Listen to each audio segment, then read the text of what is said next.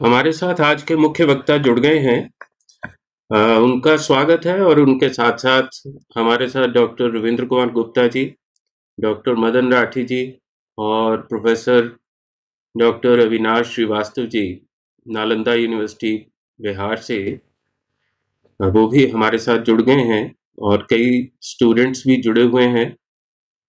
तो मैं उम्मीद करता हूँ कि हम पूरे 11 बजे जो है अपना कार्यक्रम आरंभ कर पाएँगे। आप सभी का स्वागत है।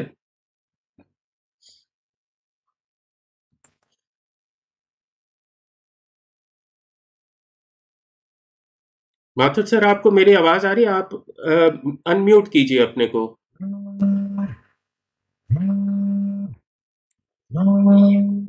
जी। आपकी आवाज़ मेरी आवाज़ सुनाई दे रही है जी जी बिल्कुल लाउड एंड क्लियर है। ये जरा सा मदद कीजिएगा कि इस पे मैं जब शेयर करूँगा मेरा पावर पॉइंट प्रदर्शन उसके नीचे कौन सा बटन वाला दबाने से ये सर स्क्रीन शेयर करनी होगी आपको। ये नीचे एक एरो बना हुआ है जहाँ तीन चार आप ऑप्शन देख रहे हैं। एक हाथ का ऑप्शन तीन डॉट्स के बीच में लगभग। हाँ, एक एरो है जी जी। उसके ऊपर जब आप क्लिक करेंगे तो वो कहेगा स्क्रीन शेयर तो स्क्रीन फुल स्क्रीन शेयर वाले के ऊपर ऑप्ट करके नीचे एक और ऑप्शन होगा। शेयर बस वो करके आप अपनी स्क्रीन ओपन कर लीजिए। अपना जो भी पावर पॉइंट है।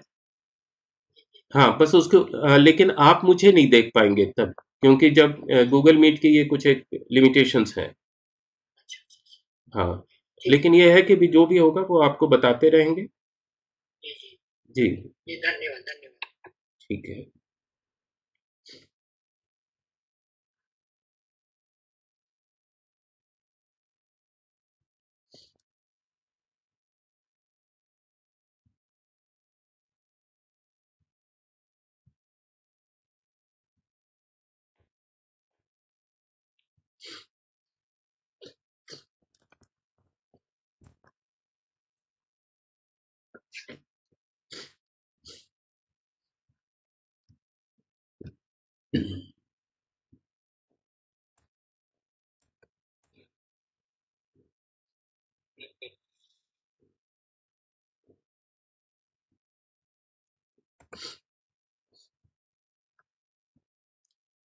जालंधर से डॉक्टर रूपिका भिनोट भी हमारे साथ जुड़ी हुई हैं। मैम, आपका स्वागत है। हालाँकि अपने ही मित्रों का और परिचितों का इस तरह से औपचारिक रूप से स्वागत करना ना बहुत अजीब लगता है।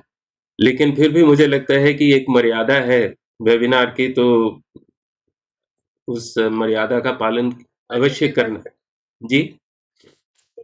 बहुत बहुत धन्यवाद सर हम आपके प्रति आभारी हैं। आप ऐसे आयोजनों से हमें ही संवेदनशील बनाए बने रहने के लिए प्रेरित करते हैं। तो हम आपके प्रति कृतज्ञ हैं सर। नमस्कार। नमस्कार डॉक्टर साहब।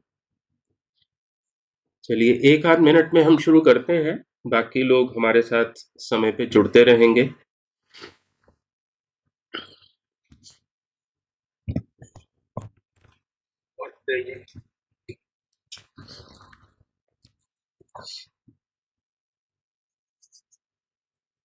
नमस्ते जी। नमस्कार। मैं उड़ीसा से बोल रहा हूँ डॉक्टर बंश बोल रहा हूँ। आपको सबको सादर प्रणाम। नमस्ते जी। प्रणाम डॉक्टर साहब। स्वागत है आपका। उड़ीसा से भुवनेश्वर से बोल रहा हूँ। क्या बात है। बंशीधर दास डॉक्टर बंशीधर दास जी जी जी। ठीक है ठीक है। आप सबको सादर प्रणाम जी आप अपना नाम और ईमेल वगैरह जो है वो इसमें चैट बॉक्स में पेस्ट कर दीजिएगा।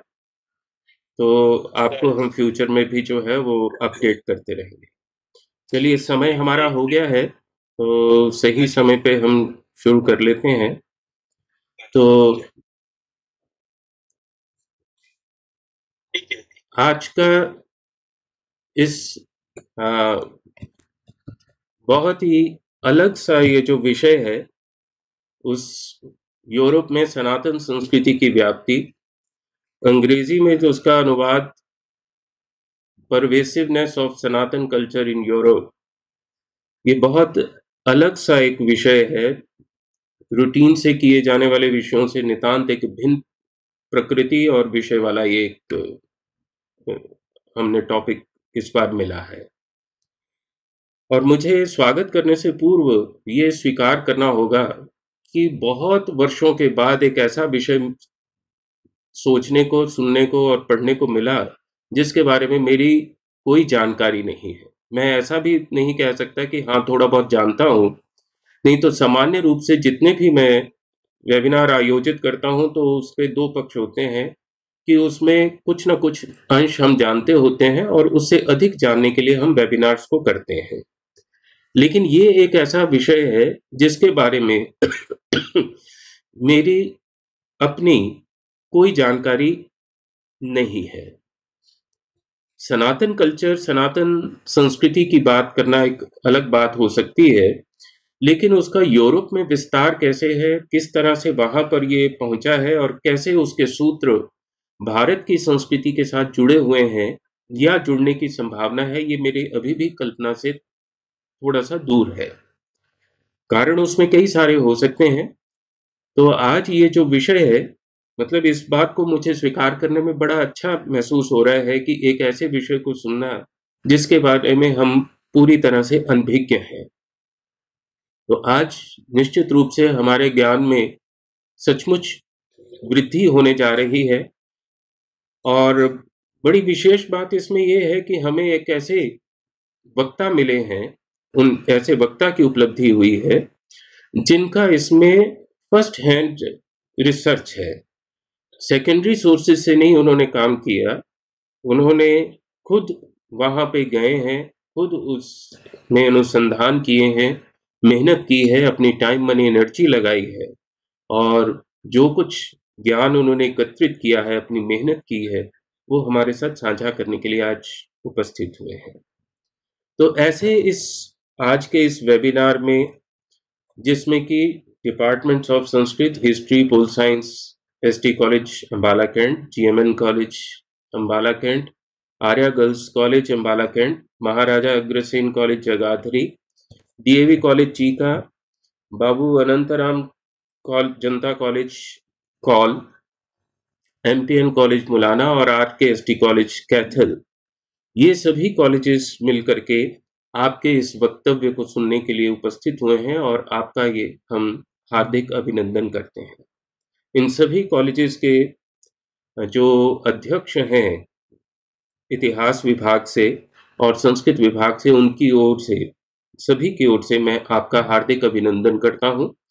और हमारे साथ जो जुड़े हुए श्रोता हैं, श्रोता लोग हैं, उनका भी मैं हार्दिक अभिनंदन करता हूँ। और श्रोताओं से मेरा निश्चित रूप से आप आग्रह रहेगा कि बहुत जागरूक होकर के इस सारे विषय को वो सुने। क्योंकि ये विषय बड़े दुर्लभ होते हैं और सामान्य विषय जो हम लोग सामान्य कॉलेजेस में पढ़ते पढ़ाते हैं, जिन पे चर्चाएँ करते हैं, वो तो आपको इधर उधर सुनने को फिर भी मिल जाएँगे। लेकिन इतना व्यापक और इस तरह के जो विषय जो सामान्य जानकारी में नहीं होते, उनको सुनना अपने आप में एक बहुत बड़ी उपलब्धि है। तो इसके लिए मैं धन्यवाद करना चाहूँगा श्री रवि शंकर जी का। जो मेरे मित्र हैं, उनके माध्यम से मुझे मेजर सुरेंद्र नारायण माथुर जी से परिचय हुआ। उनके माध्यम से ही इनसे संपर्क हो पाया और इनसे जब मैंने निवेदन किया तो इन्होंने बहुत सहजता से और प्रसन्नता से मेरे निवेदन को स्वीकार करके मुझे सम्मान दिया, उसके लिए मैं इनके प्रति अपना आभार व्यक्त करता हूँ। और जैसा कि मैंने आप लोगों से कहा कि मुझे इस विषय के बारे में कोई जानकारी नहीं है और इतिहासकारों को कितनी जानकारी होगी मैं नहीं जानता, लेकिन एक एक्सपोजर का लेवल बहुत बड़ा होगा। और उसके लिए मैं आज के मुख्य वक्ता से आपका परिचय करवाना चाहूँगा। हमारे जो मुख्य वक्ता हैं, आप देखिए, मेजर सुरेंद्र नारायण माथुर, जिन्होंने सेवा, सेना मेडल जो है, वो अपनी वीरता और पराक्रम से प्रेसिडेंट से प्राप्त किया है। एक्स आर्मी ऑफिसर रहे हैं और एसोसिएट प्रोफेसर रहे हैं college of military engineering Poona में। और उनकी मुख्य रुचि क्या रही है? Research on cultural similarities with Bharat दुनिया भर में। ये बड़ी एक विचित्र बात है कि आर्मी में रहते हुए विशेष रूप से जब आपका मन और शरीर प्रशिक्षित होता है तो उसमें रिसर्च में रुचि बनाए रखना और वो भी इस तरह के विषय में, जो कि बहुत व्यापक विषय है। हम तो जो भी रिसर्च करते हैं मेजर करें माइनर करें, वो बड़े सूक्ष्म, बहुत सीमित से दायरे में करते हैं। लेकिन जहाँ पर वैश्विक संदर्भ आ जाए, वहाँ पर अनुसंधान करना और भी मुश्किल हो जाता है, इस बात का मैं अनुमान कर सकता हूँ। अभी इनकी एक पुस्तक जो हमें देखने में आएगी और आप लोगों को उपलब्ध होगी, पब्लिश हो चुकी हुई है, और उसके राइट्स जो है वो इनके पास ही है। हिंदू के सेल्टिक स्वजन यूरोप में भारतीय सनातन संस्कृति नवीनतम अनुसंधान।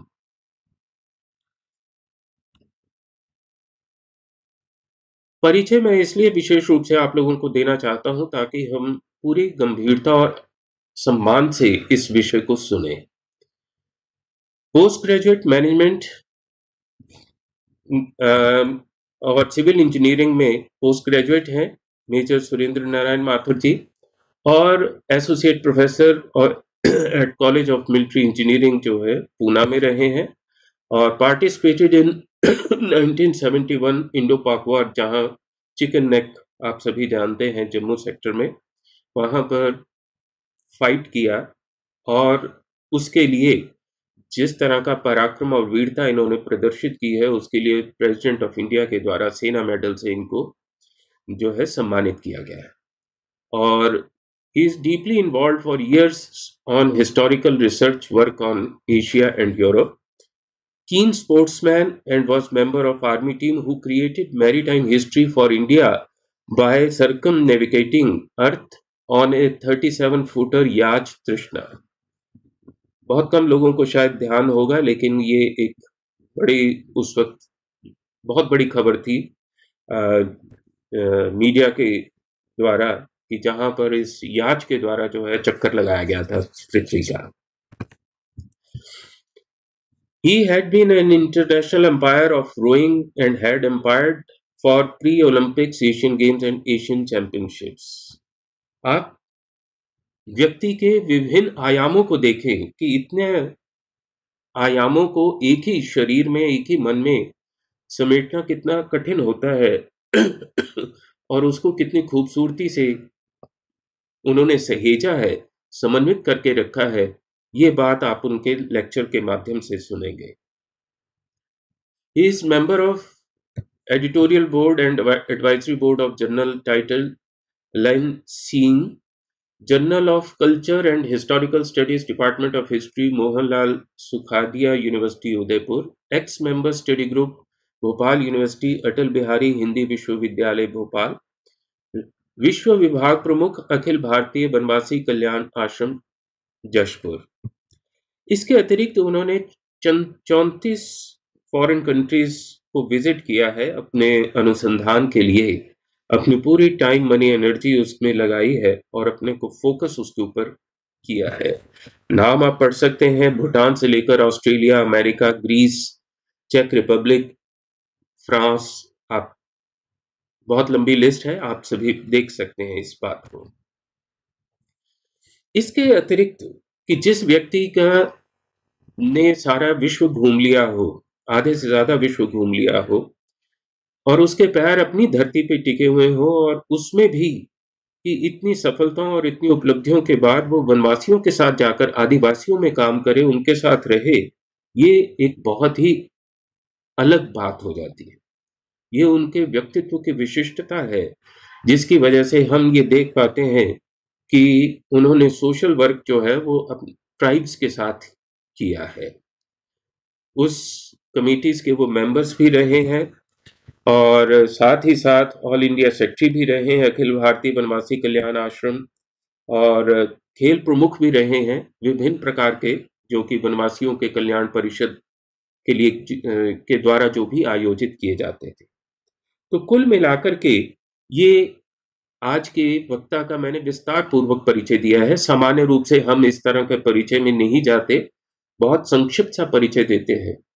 लेकिन मुझे लगा कि ऐसे व्यक्तित्व जो, जिसमें इतने सारे विभिन्न आयाम समाहित हैं, समन्वित हैं और पूरी तरह से सिंक्रोनाइज्ड है तो ऐसे व्यक्ति का परिचय तो हम सभी को करना चाहिए। ताकि हम लोग भी अपने विभिन्न आयामों को विकसित करें, व्यक्तित्व के आयामों को विकसित करें।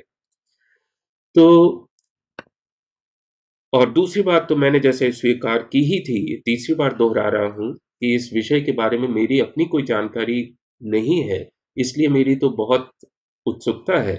तो इसलिए भी वक्ता का विशेष परिचय देना बहुत आवश्यक था। तो इन्हीं शब्दों के साथ मैं सर आमंत्रित कर रहा हूँ। एसटी कॉलेज अंबाला कैंट की ओर से। GMN college, Arya girls college, Ambala cantt, Maharaja Agrasen college Jagadhri की ओर से डीएवी कॉलेज चीका की ओर से, बार, गंधा college, Kaul MPN college, Mullana और आरकेएसटी कॉलेज, कैथल की ओर से। आपका पुनः स्वागत करता हूँ और आपको आमंत्रित करता हूँ। कि लगभग अगले 40-45 मिनट 50 मिनट जो भी आप अपना वक्तव्य देना चाहें और उसके बाद हमारे जो इतिहासकार हैं, हमारे जो यंग हिस्टोरियंस हम, हमारे साथ जुड़े हुए हैं विभिन्न विभागों के अध्यक्ष हैं इतिहास के, वो आपके साथ चर्चा करेंगे और जो भी प्रश्नोत्तर होंगे, चर्चाएँ होंगी, उसको हम लेंगे। तो सर, आपका स्वागत है। Stage is all yours, sir. You can share your screen sir Ashutosh ji बहुत बहुत धन्यवाद आपको। सबसे पहले आप सभी शिक्षाविद हैं। आप सभी को मेरा नमन मैं आपसे चर्चा करने से पहले ये रूप से बताना चाहता हूँ कि मैं कोई हिस्टोरियन नहीं हूँ, ना ही मैं कोई संस्कृत का ज्ञाता हूँ। ये मेरा रुचि का विषय रहा है और इसलिए मैंने 20 वर्षों से ये शोध कार्य किया है। एक छोटी सी घटना हुई थी कि एक महिला मेरे घर पे आके रही। दो महीने वो फ्रांस की थी।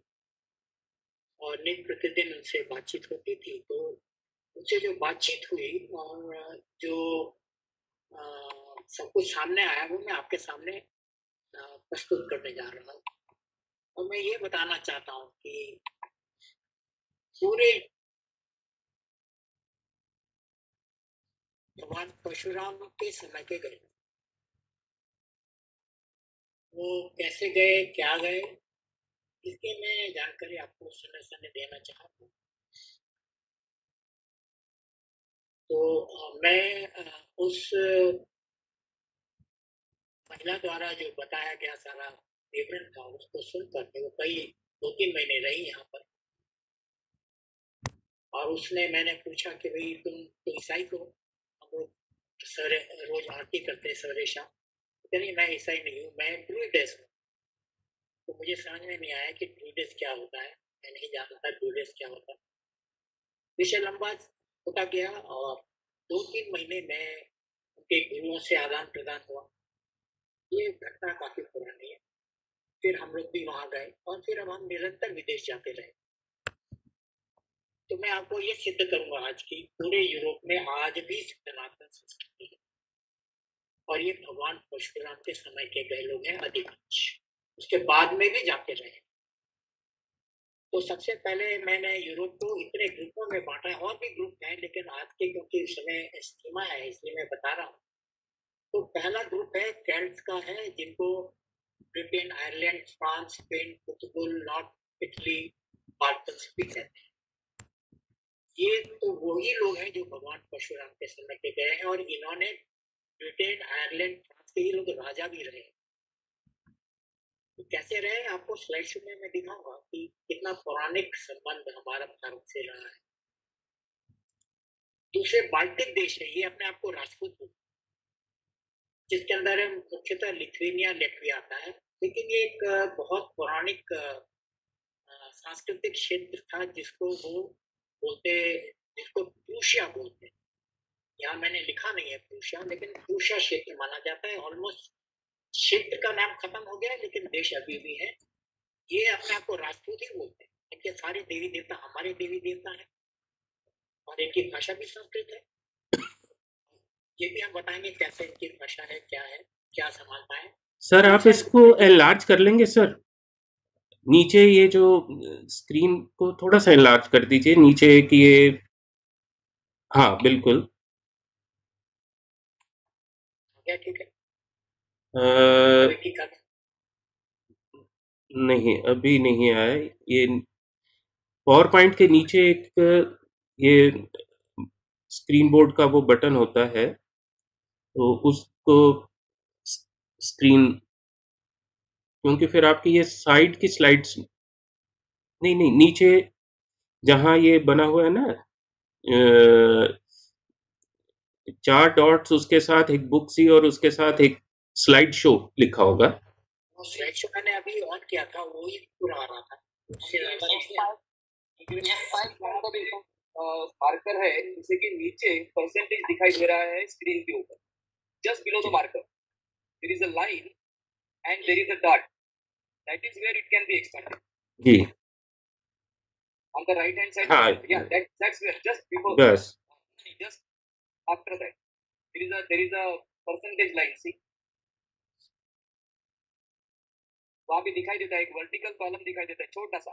हाँ वहीं पे वहीं पे अभी जहाँ पे मार्कर है वहाँ पे यस हाँ यहाँ क्या करना है इसको? जरा सा आगे लेना है। हाँ ओके यस लेकिन ये पूरा दिखाई नहीं दे रहा। नहीं नहीं नहीं नहीं नहीं सर नहीं नहीं। आप चलिए आप अपने तरीके से करिए इसको छोटा कर लीजिए। एफ़ फाइव हाँ एफ़ फाइव करके देखिए सर ओके ठीक है। चलिए कोई नहीं सर आप प्लीज़ आप जैसे कंटिन्यू कर रहे हैं वैसे करें आप। नहीं तो अच्छा ओके प्लीज़ तो तो ये पहला दूसरे है बाल्टिक देश है जिसमें मैंने अभी बताया आपको फिर स्कैंडिनेवियन देश है। नॉर्वे डेनमार्क स्वीडन फिर है, ये इस्टोनिया एंड फिनलैंड वैसे इस्टोनिया तो बाल्टिक देशों में आता है, लेकिन उनका कल्चर जो है फिनलैंड से मिलता है। फिर आता है ट्रांसल्वेनिया ये जिसमें ऑस्ट्रिया हंगरी और रोमेनिया आता है, ये बहुत महत्वपूर्ण क्षेत्र है। ये अपने आप को चौहान राजपूत बोलते हैं। कि हम चौहान हैं और चौहान राजपूत भी हैं। और आप ऑस्ट्रिया के बारे में खैर आगे चल के मैं बताता हूँ। फिर आता है ग्रुप जिसको हम जर्मेनिक पॉलिश बोलते हैं। फिर एक ग्रुप आता है, ये तो ये बहुत बड़ा ग्रुप है अगर स्लेविक आता है, जिसमें देखिए मुख्यतः रशिया भी आता है, पूरा रशिया आता है। यूक्रेन आता है, स्लोवेकिया आता है जैक रिपब्लिक आता है पोलैंड आता है, और भी देश हैं जो स्लेविक होते हैं। अगर आप सबसे ऊपर वाला जो है कैंट्स कैंट्स और स्लेविक को मिला देंगे तो अगर मैं केवल ये दो के ऊपर आपको बोलूँ तो आप 75 परसेंट ऑफ़ यूरोप कवर हो जाता है। तो ये कैंट्स जो है, भगवान परशुराम के समय के हैं और जब स्लेविक के बारे में बताऊँगा तो ये वो लोग हैं जिस, जो पूरा विष्णु पुराणी है, उनकी पूरी संस्कृति विष्णु पुराण से जुड़ी हुई फिर आता है ग्रीस क्रीटी इटली, मैसेडोनिया, फिर है जॉर्जिया, आर्मेनिया, अजरबैजान। मैंने वेस्ट एशिया को कवर नहीं किया है, मैंने अभी अरब देशों को कवर नहीं किया है, मैं खाली यूरोप यूरोप तक ही सीमित रहना चाहता हूँ। तो ये देखिए, ये कैल्स हैं और ये Britain, Ireland, France, Spain Portugal north Italy इनमें होते हैं। तो ये भगवान परशुराम को दगदा बोलते हैं। ये संस्कृत का शब्द है, इसका एक्सप्लेनेशन करना अभी मैं ठीक नहीं समझता। हर शब्द का एक्सप्लेनेशन है, हमने उसका विश्लेषण कर चुके हैं। सारे के सारे संस्कृत के शब्द। और वो लोग उसको क्या बोलते हैं? भगवान परशुराम को क्या बोलते हैं? आप देख सकते हैं इंटरनेट पे आप लिख लीजिए इंटरनेट पे देख सकते हैं। दग्धा लिखेंगे तो आएगा दग्धा है वो बोलेंगे god with petal X and folder इसका मतलब भगवान जिसके हाथ में फरसा और कमंडल है। और उसको क्या बोलते हैं कि god with staff and club मतलब जिसके हाथ में डंडा है। इसलिए उसका नाम दंडा है। भारत में भी दंडा बोलते हैं, लेकिन दक्षिण भारत में बोलते हैं। और आगे तो ये हम कहेंगे कि क्या ब्रिटेन एक हिंदू राष्ट्र था? हाँ ये मैं आपसे करूँगा। हाँ ब्रिटेन एक हिंदू राष्ट्र मैंने इंग्लैंड नहीं कहा देखिए दोनों शब्दों में अंतर है, इसको समझने की आवश्यकता है। ब्रिटेन और इंग्लैंड में फ़र्क है। और यूनाइटेड किंगडम में तो उसको समझने के लिए संक्षिप्त में बताता हूँ कि यूनाइटेड किंगडम जो है, उसके चार प्रांत थे या चार राज्य थे, उनको मिला करके यूनाइटेड किंगडम बना। उसमें इंग्लैंड एक प्रांत है। लेकिन हमारे, क्योंकि भारत में हर कोई इंग्लैंड ही बोलते हैं तो हम सोचते हैं इंग्लैंड का मतलब पूरा यूनाइटेड किंगडम ऐसा नहीं है। तो ब्रिटेन क्या है, हम आगे स्लाइड में दिखाएँगे और इंग्लैंड क्या है, बताएँगे। लेकिन ये सब छिन्न भिन्न क्यों है, उसका अलग कभी प्राइवेट पॉइंट प्रशेषण की मुझे अनुमति मिलेगी तो मैं बताऊँगा कि हम ये सब कैसे गए, ज़िक्र कैसे गए। तो उसमें एक बहुत बड़ा युद्ध हुआ, जो जूलियस सीजर इसमें जो आपके हिस्टोरियंस हैं, वो जानते भी होंगे, जो यूरोप पढ़ाते हैं। जूलियस सीजर और गॉल देश के बीच में एक युद्ध हुआ, जो कि फिफ्टी एट बीसी और फिफ्टी बीसी के बीच में हुआ, और जूलियस सीजर ने गॉल देश को हराया। ये तो जो जूलियस सीजर ने अपनी पुस्तक लिखी, उसमें बताया कि मैंने हराया क्या बताया, लेकिन ये जो कैल्स लोग हैं उनका दूसरा एक वर्जन है, उस पर अभी हम नहीं जाएँगे। लेकिन इतना, क्योंकि बहुत लंबा स्लाइड शो है तो इसलिए मैं बता रहा हूँ तो ये कैल्टिक कंट्री है, देखिए। इसको समझने की ज़रूरत है तो ये यूके के अंदर, ये देखिए ऊपर स्कॉटलैंड है, उसका अपना चिन्ह है, उसका अपना फ्लैग भी अलग है। और उसके बाद ये देखिए, ये वेल्स है। और ये छोटा सा द्वीप है, इसको आइल ऑफ़ मैन बोलते हैं आगे मैं बताऊँगा, ये मनु का द्वीप है। और ये आयरलैंड है। और ये जो है, इसको कॉर्नवेल बोलते हैं। तो ये जो तीन प्रांत है, कॉर्नवेल वेल्स और स्कॉटलैंड, ये ब्रिटेन कहलाते हैं। ये अपने आप को ब्रिटेन बोलते हैं। और वैसे ही एक छोटा सा प्रांत है, जो कि जो कि फ्रांस के अंदर आता है। वो अपने आप को उसको ब्रिटनी नाम है, वो भी अपने आप को ब्रिटेन बोलते हैं। क्योंकि ये जो फ्रांस का छोटा सा भाग है, पहले इसी समय ब्रिटेन का भाग होता था और बाद में जब ब्रिटेन की एक राजकुमारी का विवाह फ्रांस के प्रिंस से हुआ तो उसको उन्होंने गिफ्ट कर दिया। तो ये मैंने आपको बताया। आप देखिए, आयरलैंड पाइए तो ये पूरा आयरलैंड हमारे पास कविता है, उन्हीं के लिखी हुई कविताएँ हैं। जिसमें ये बताया कि भगवान परशुराम ने आयरलैंड को अक्षय तृतीया के दिन विजय प्राप्त कर और इसके विस्तार में हम आगे जाएँगे कि वो भगवान परशुराम ने इसको कैसे स्थापित किया, वहाँ पर क्या क्या, वहाँ पर एक स्थान है जो बिल्कुल उज्जैन की तरह है। ये भी हम आपको इसी इसी में बताने वाले अब फ्रांस में मैंने आपको बताया ब्रिटनी है, इसी तरह पुर्तगुल और स्पेन में भी है। अब इसमें एक विशेषता आप देखिए इनके अलग अलग ध्वज है। ये किसी जमाने में ये सारे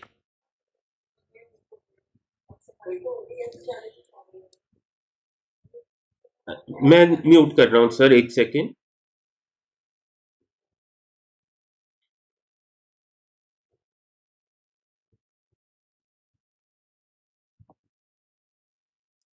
जी। आज तो ये आप देखिए, उन्हीं देशों का मैंने सिंप्लीफाइड वे में उनके अलग अलग ध्वजों का और उनके नामों को बताया है। ये प्रमुख देश जो है, ये सारे कैल्टिक देश कहलाते हैं और ये भगवान परशुराम के समय के गए।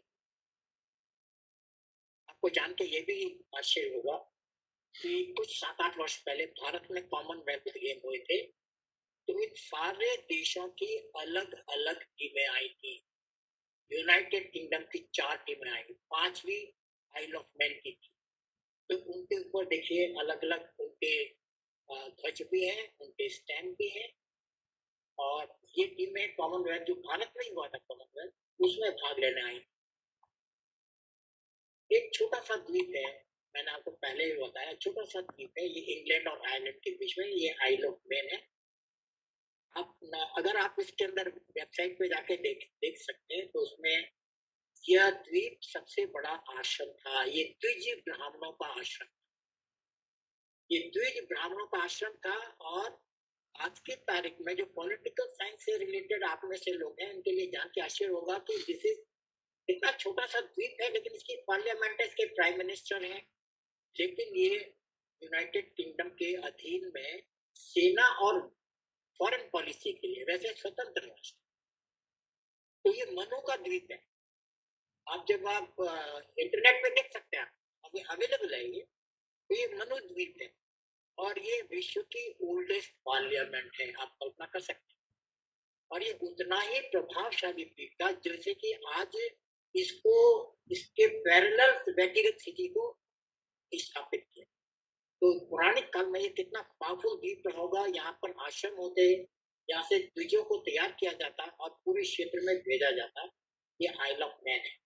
और ये इसका जो ध्वज है तो ये त्रिशूल है, ये कैसे है, इसको हम आगे जाके देखें।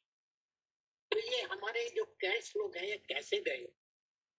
तो ये हिंदू कुश से ऊपर ऊपर चलते हुए, ये एक जगह मैंने बीच में बताई है, जिसका नाम है हॉलस्टेट ये हॉलस्टेट ऑस्ट्रिया में है। आज ऑस्ट्रिया की इतनी महत्ता नहीं है। लेकिन फ़र्स्ट वर्ल्ड से पहले भी ऑस्ट्रिया की बहुत बड़ी महत्ता रही है। वहाँ का जो राजा बहुत प्रभावशाली रहा है और आप जान के समझ सकते हैं कि कितना प्रभावशाली रहा होगा कि नेपोलियन ने भी उसके वहाँ की राजकुमार से शादी करी और हिटलर ने भी करी। और जो हिटलर है, वो स्वयं जर्मन नहीं था, वो ऑस्ट्रियन था। रहता था वो जर्मनी में, लेकिन वो स्वयं ऑस्ट्रियन था। और ये जो हॉलस्टेट है ये आज वर्ल्ड हेरिटेज साइट है। तो हॉलस्टेट जो ऑस्ट्रिया में है, वो नमक की खाने हैं, जिसके पास में लेक्स है। और उन नमक के खानों में पानी डाला जाता है और बेम्बू की पाइप से पुराने काल में, क्योंकि नमक एक बहुत बहुत ही प्रेशियस चीज़ होती थी तो उसको नमक को सप्लाई करते थे। बाद में ये लोग स्विट्जरलैंड की तरफ़ चले गए, वहाँ एल्प्स हैं, जो माउंटेन थे, वहाँ चले गए। और फिर वो ऊपर जाके गॉल देश मतलब फ्रांस में जाके बसे पोर्तुगल चल गए, फिर ऊपर चल के ब्रिटेन में चले गए, आयरलैंड में चले गए, स्कॉटलैंड में जाके बस गए। ये किस तरह से ये ऊपर जाके बसे, ये मैंने आपको उसमें आप देख सकते हैं आप किस तरह से इनका विस्तार हुआ और ये बता रहे हैं कि किस तरह से इनका इधर से गए। लेकिन कहीं भी हमें ये नहीं पता लगता है कि ये इन्होंने क्या रास्ता लिया, क्या लिया। है हम तो ये कह सकते हैं कि भगवान परशुराम ने इक्कीस बार विश्व विजय करी कहा करी? तो ये हम लोगों को यहाँ मिल गया और भगवान परशुराम ही उनके मुख्य देवता है आज भी है वो। तो ये दाहिनी तरफ़ मैंने दिखाया कि किस तरह से ये हिंदू कुश में गए ऑस्ट्रिया फिर Switzerland Alps Italy Gaul Gaul मतलब फ्रांस बेल्जियम जर्मनी ये सारे कंट्रीज़ हैं। और ये ये जो हॉलस्टेट है जो नमक की खान है ये आज एक वर्ल्ड हेरिटेज साइट है। और ये बाल्कन कंट्रीज़ में भी बसे हुए आज भी है वहाँ पर उनको बाल बाल्कन टेल्ट्स कहते हैं। अब देखिए, इसके अंदर आप कौन कौन से आता है? क्रोशिया आता है बॉस्निया आता है बुल्गेरिया आता है, बहुत सारे ग्रीस भी आता है। ये सारे देश इसके अंदर है। आजकल इनको बाल्कन बाल्कन टेल्ट्स मैं जरा सा इनके सामाजिक व्यवस्था को बताता हूँ और ये मनुस्मृति में दिया हुआ है। मैंने जो पुस्तक लिखी है, उसमें लिखा है, इसका विश्लेषण क्या है कि हमारे सामाजिक व्यवस्थाओं से कैसे होते थे? पहले हमारे वही हमारे वर्ण होते थे। हमारे वैश्य ब्राह्मण और क्षत्रिय होते थे। लेकिन आश्रम व्यवस्था में सब एक साथ जा सकते थे और आश्रम व्यवस्था में जो सब ऋषियों की आश्रम व्यवस्था थी, उसके अंदर जो तीन डिग्रियाँ दी जाती है, जैसे हमारे बी एम ए की डिग्रियाँ होते हैं तो ये डिग्रियाँ थी जिसके अंदर पहली डिग्री में कुछ अनेक वर्ष उनको अध्ययन करना पड़ता था जिसमें मौखिक रूप से उनकी कविताएँ पाठ करना कहानियों को बताना। तो ये बार्ड्स कहलाते हैं ये बार्ड्स जो सबसे ऊपर दिया ये बार्ड कहलाते हैं तो बार्ड की पदवी मिलती थी।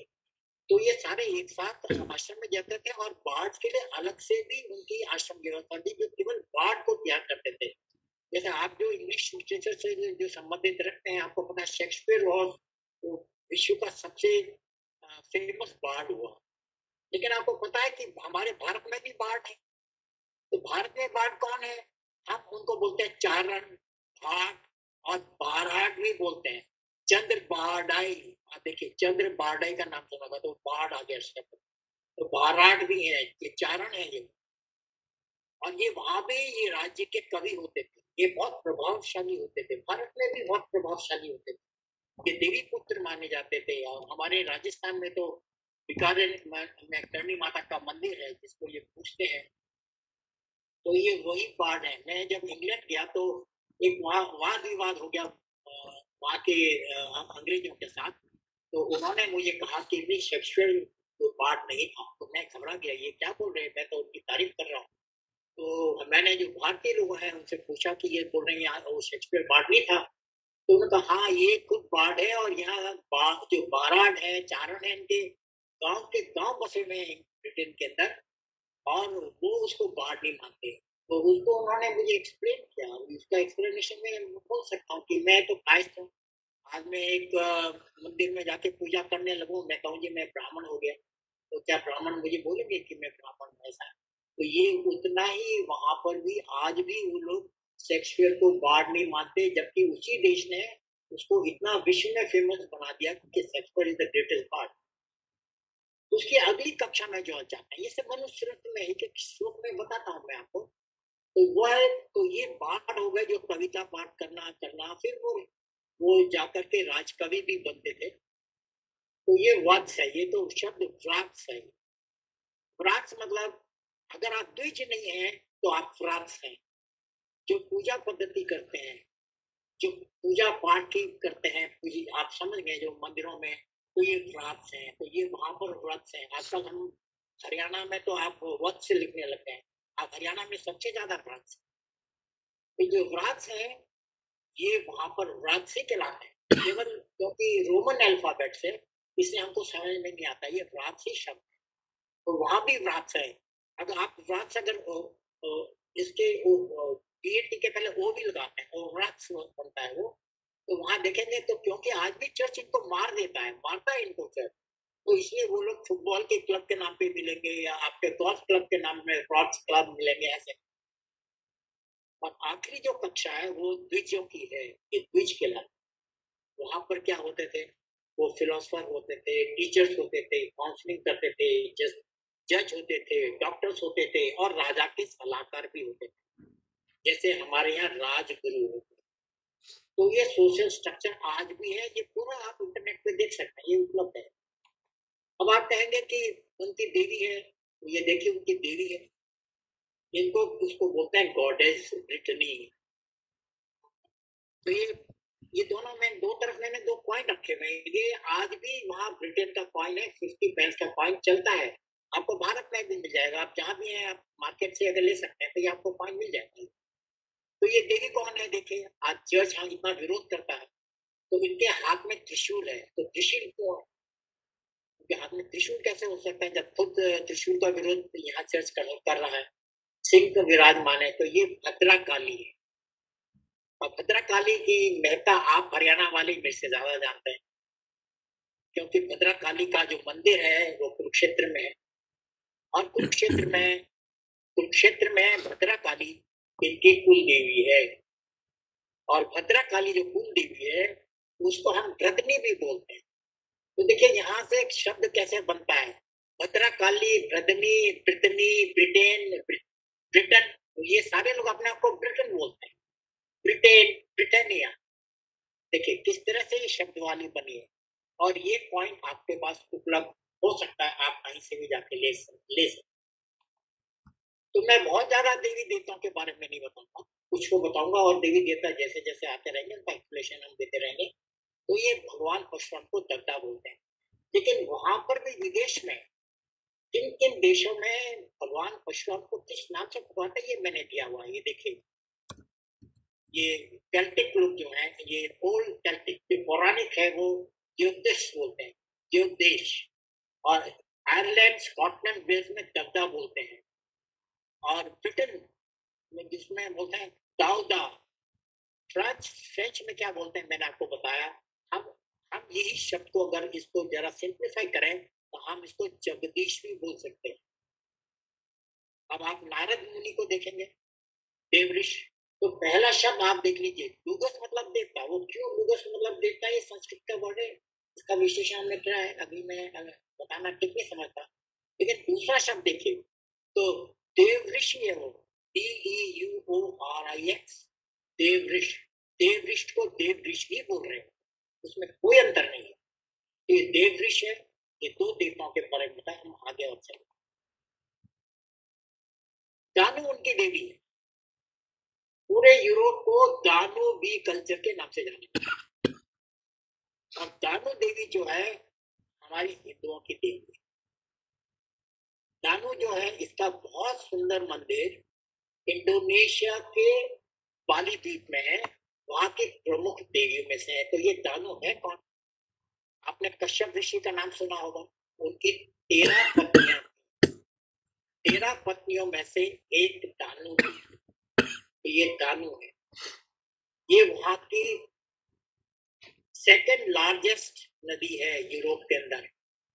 दस देशों के बीच में से गुजरती है। चार कैपिटल सिटी राजधानी, चार देशों की राजधानी से होकर गुजरती है और पूरे यूरोप का कल्चर को दानोबी कल्चर के नाम से जाना जाता है। आप समझ गए होंगे और दानो प्योर संस्कृत शब्द है, जिसका मतलब और ये देवी किसकी है? नदियों की और तालाबों की देवी है। और दानो अगर आप संस्कृत की डिक्शनरी में देखेंगे तो मतलब निकल के आएगा द्रव्य को दानो बोलते हैं।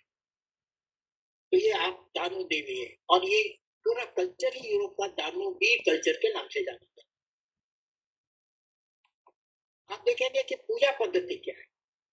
तो ये पूजा पद्धति मैं आपको दिखा रहा हूँ तो जो बहन मेरे घर में आके रही और जब मैं फ्रांस गया तो वो वो हमें पूजा कराने के लिए जंगल में लेके गए। वहाँ आज भी उनको अनुमति नहीं है, वो अग्नि नहीं जला सकते। चर्च उनको मारता है, आज भी मार देता है।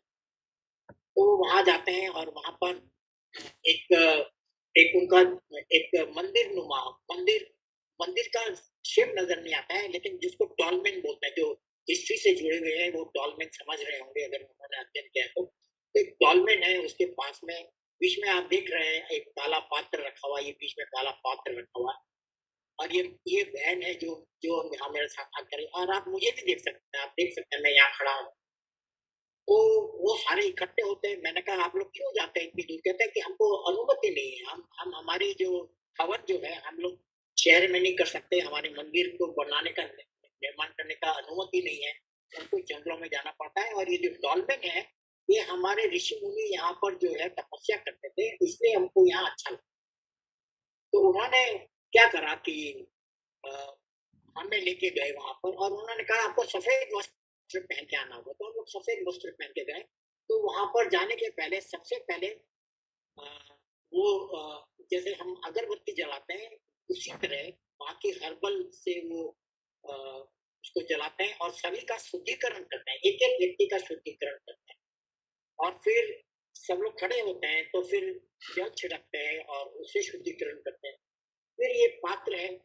इस पात्र में आप देख रहे हैं, इसमें अग्नि जलाते हैं और फिर वहाँ पर उनका जो गुरु है, आप देख सकते हैं, जिसके हाथ में झंडा है, वो वहाँ का प्रमुख गुरु वो चार दिशाओं में जाके मंत्र का उच्चारण करता है, चार दिशाओं में करता है और फिर सात बार परिक्रमा लेते हैं। लेकिन एक सात बार परिक्रमा में एक विशेषता ये भी है कि उस परिक्रमा लेते समय पहले एक एक बार आप परिक्रम लेंगे फिर वो ओम का उच्चारण कैसे करता है? वो एक साथ ओम नहीं बोलते। एक बार करने के बाद बोलते हैं, आ फिर दो परिक्रमा लेते हैं, फिर बोलते हैं, ऊ फिर दो बार करते हैं, फिर बोलते हैं, म तो फेजेस में लेते हैं म अ ऐसे ओम का उच्चारण। ये जगह है आयोना। मैं आपको इसके बारे में बाद में और भी बताऊँगा, आयोना जगह देखिए, ये इनका कैल्टिक क्रॉस है जो चर्च का क्रॉस है, ये उससे भी पुराना क्रॉस है ये कैल्ट है इसलिए इसको कैल्टिक क्रॉस बोलते हैं। ये इतना महत्वपूर्ण है और यही स्वास्थ्य भी है। ये जो स्वास्थ्य है, इसका हम एक्सप्लेनेशन बाद में देंगे। लेकिन ये कैल्टिक क्रॉस है, इसी को चर्च ने अपनाया। और उसने अपने जीसस को इसके ऊपर रख करके एक प्रतीक बना दिया, क्योंकि पूरे चर्च का जो संस्कृति है, वो पूरी कैल्टिक संस्कृति है। उनको पूरा का पूरा क्योंकि वहाँ का पूरा समाज, कैल्टिक समाज था, उनको सब कुछ उनसे एडॉप्ट करना पड़ गया। तो समानताएँ बनाने के लिए सिंपैथी गेन करने के लिए उन्होंने इस कैल्टिक क्रॉस को अपनाया और उन्होंने उसका छोटा स्वरूप दे करके उसके ऊपर जीसस को दिखाना, दिखाने की कोशिश करी। लेकिन ये स्वास्तिक भी है ये स्वास्तिक क्यों है इसका आगे हम एक्सप्लेनेशन देंगे। तो ये कैल्टिक क्रॉस है, ये आयु में एक जगह है, स्कॉटलैंड में। जहाँ पर विष्णु मंदिर था जिसको ने तोड़ा।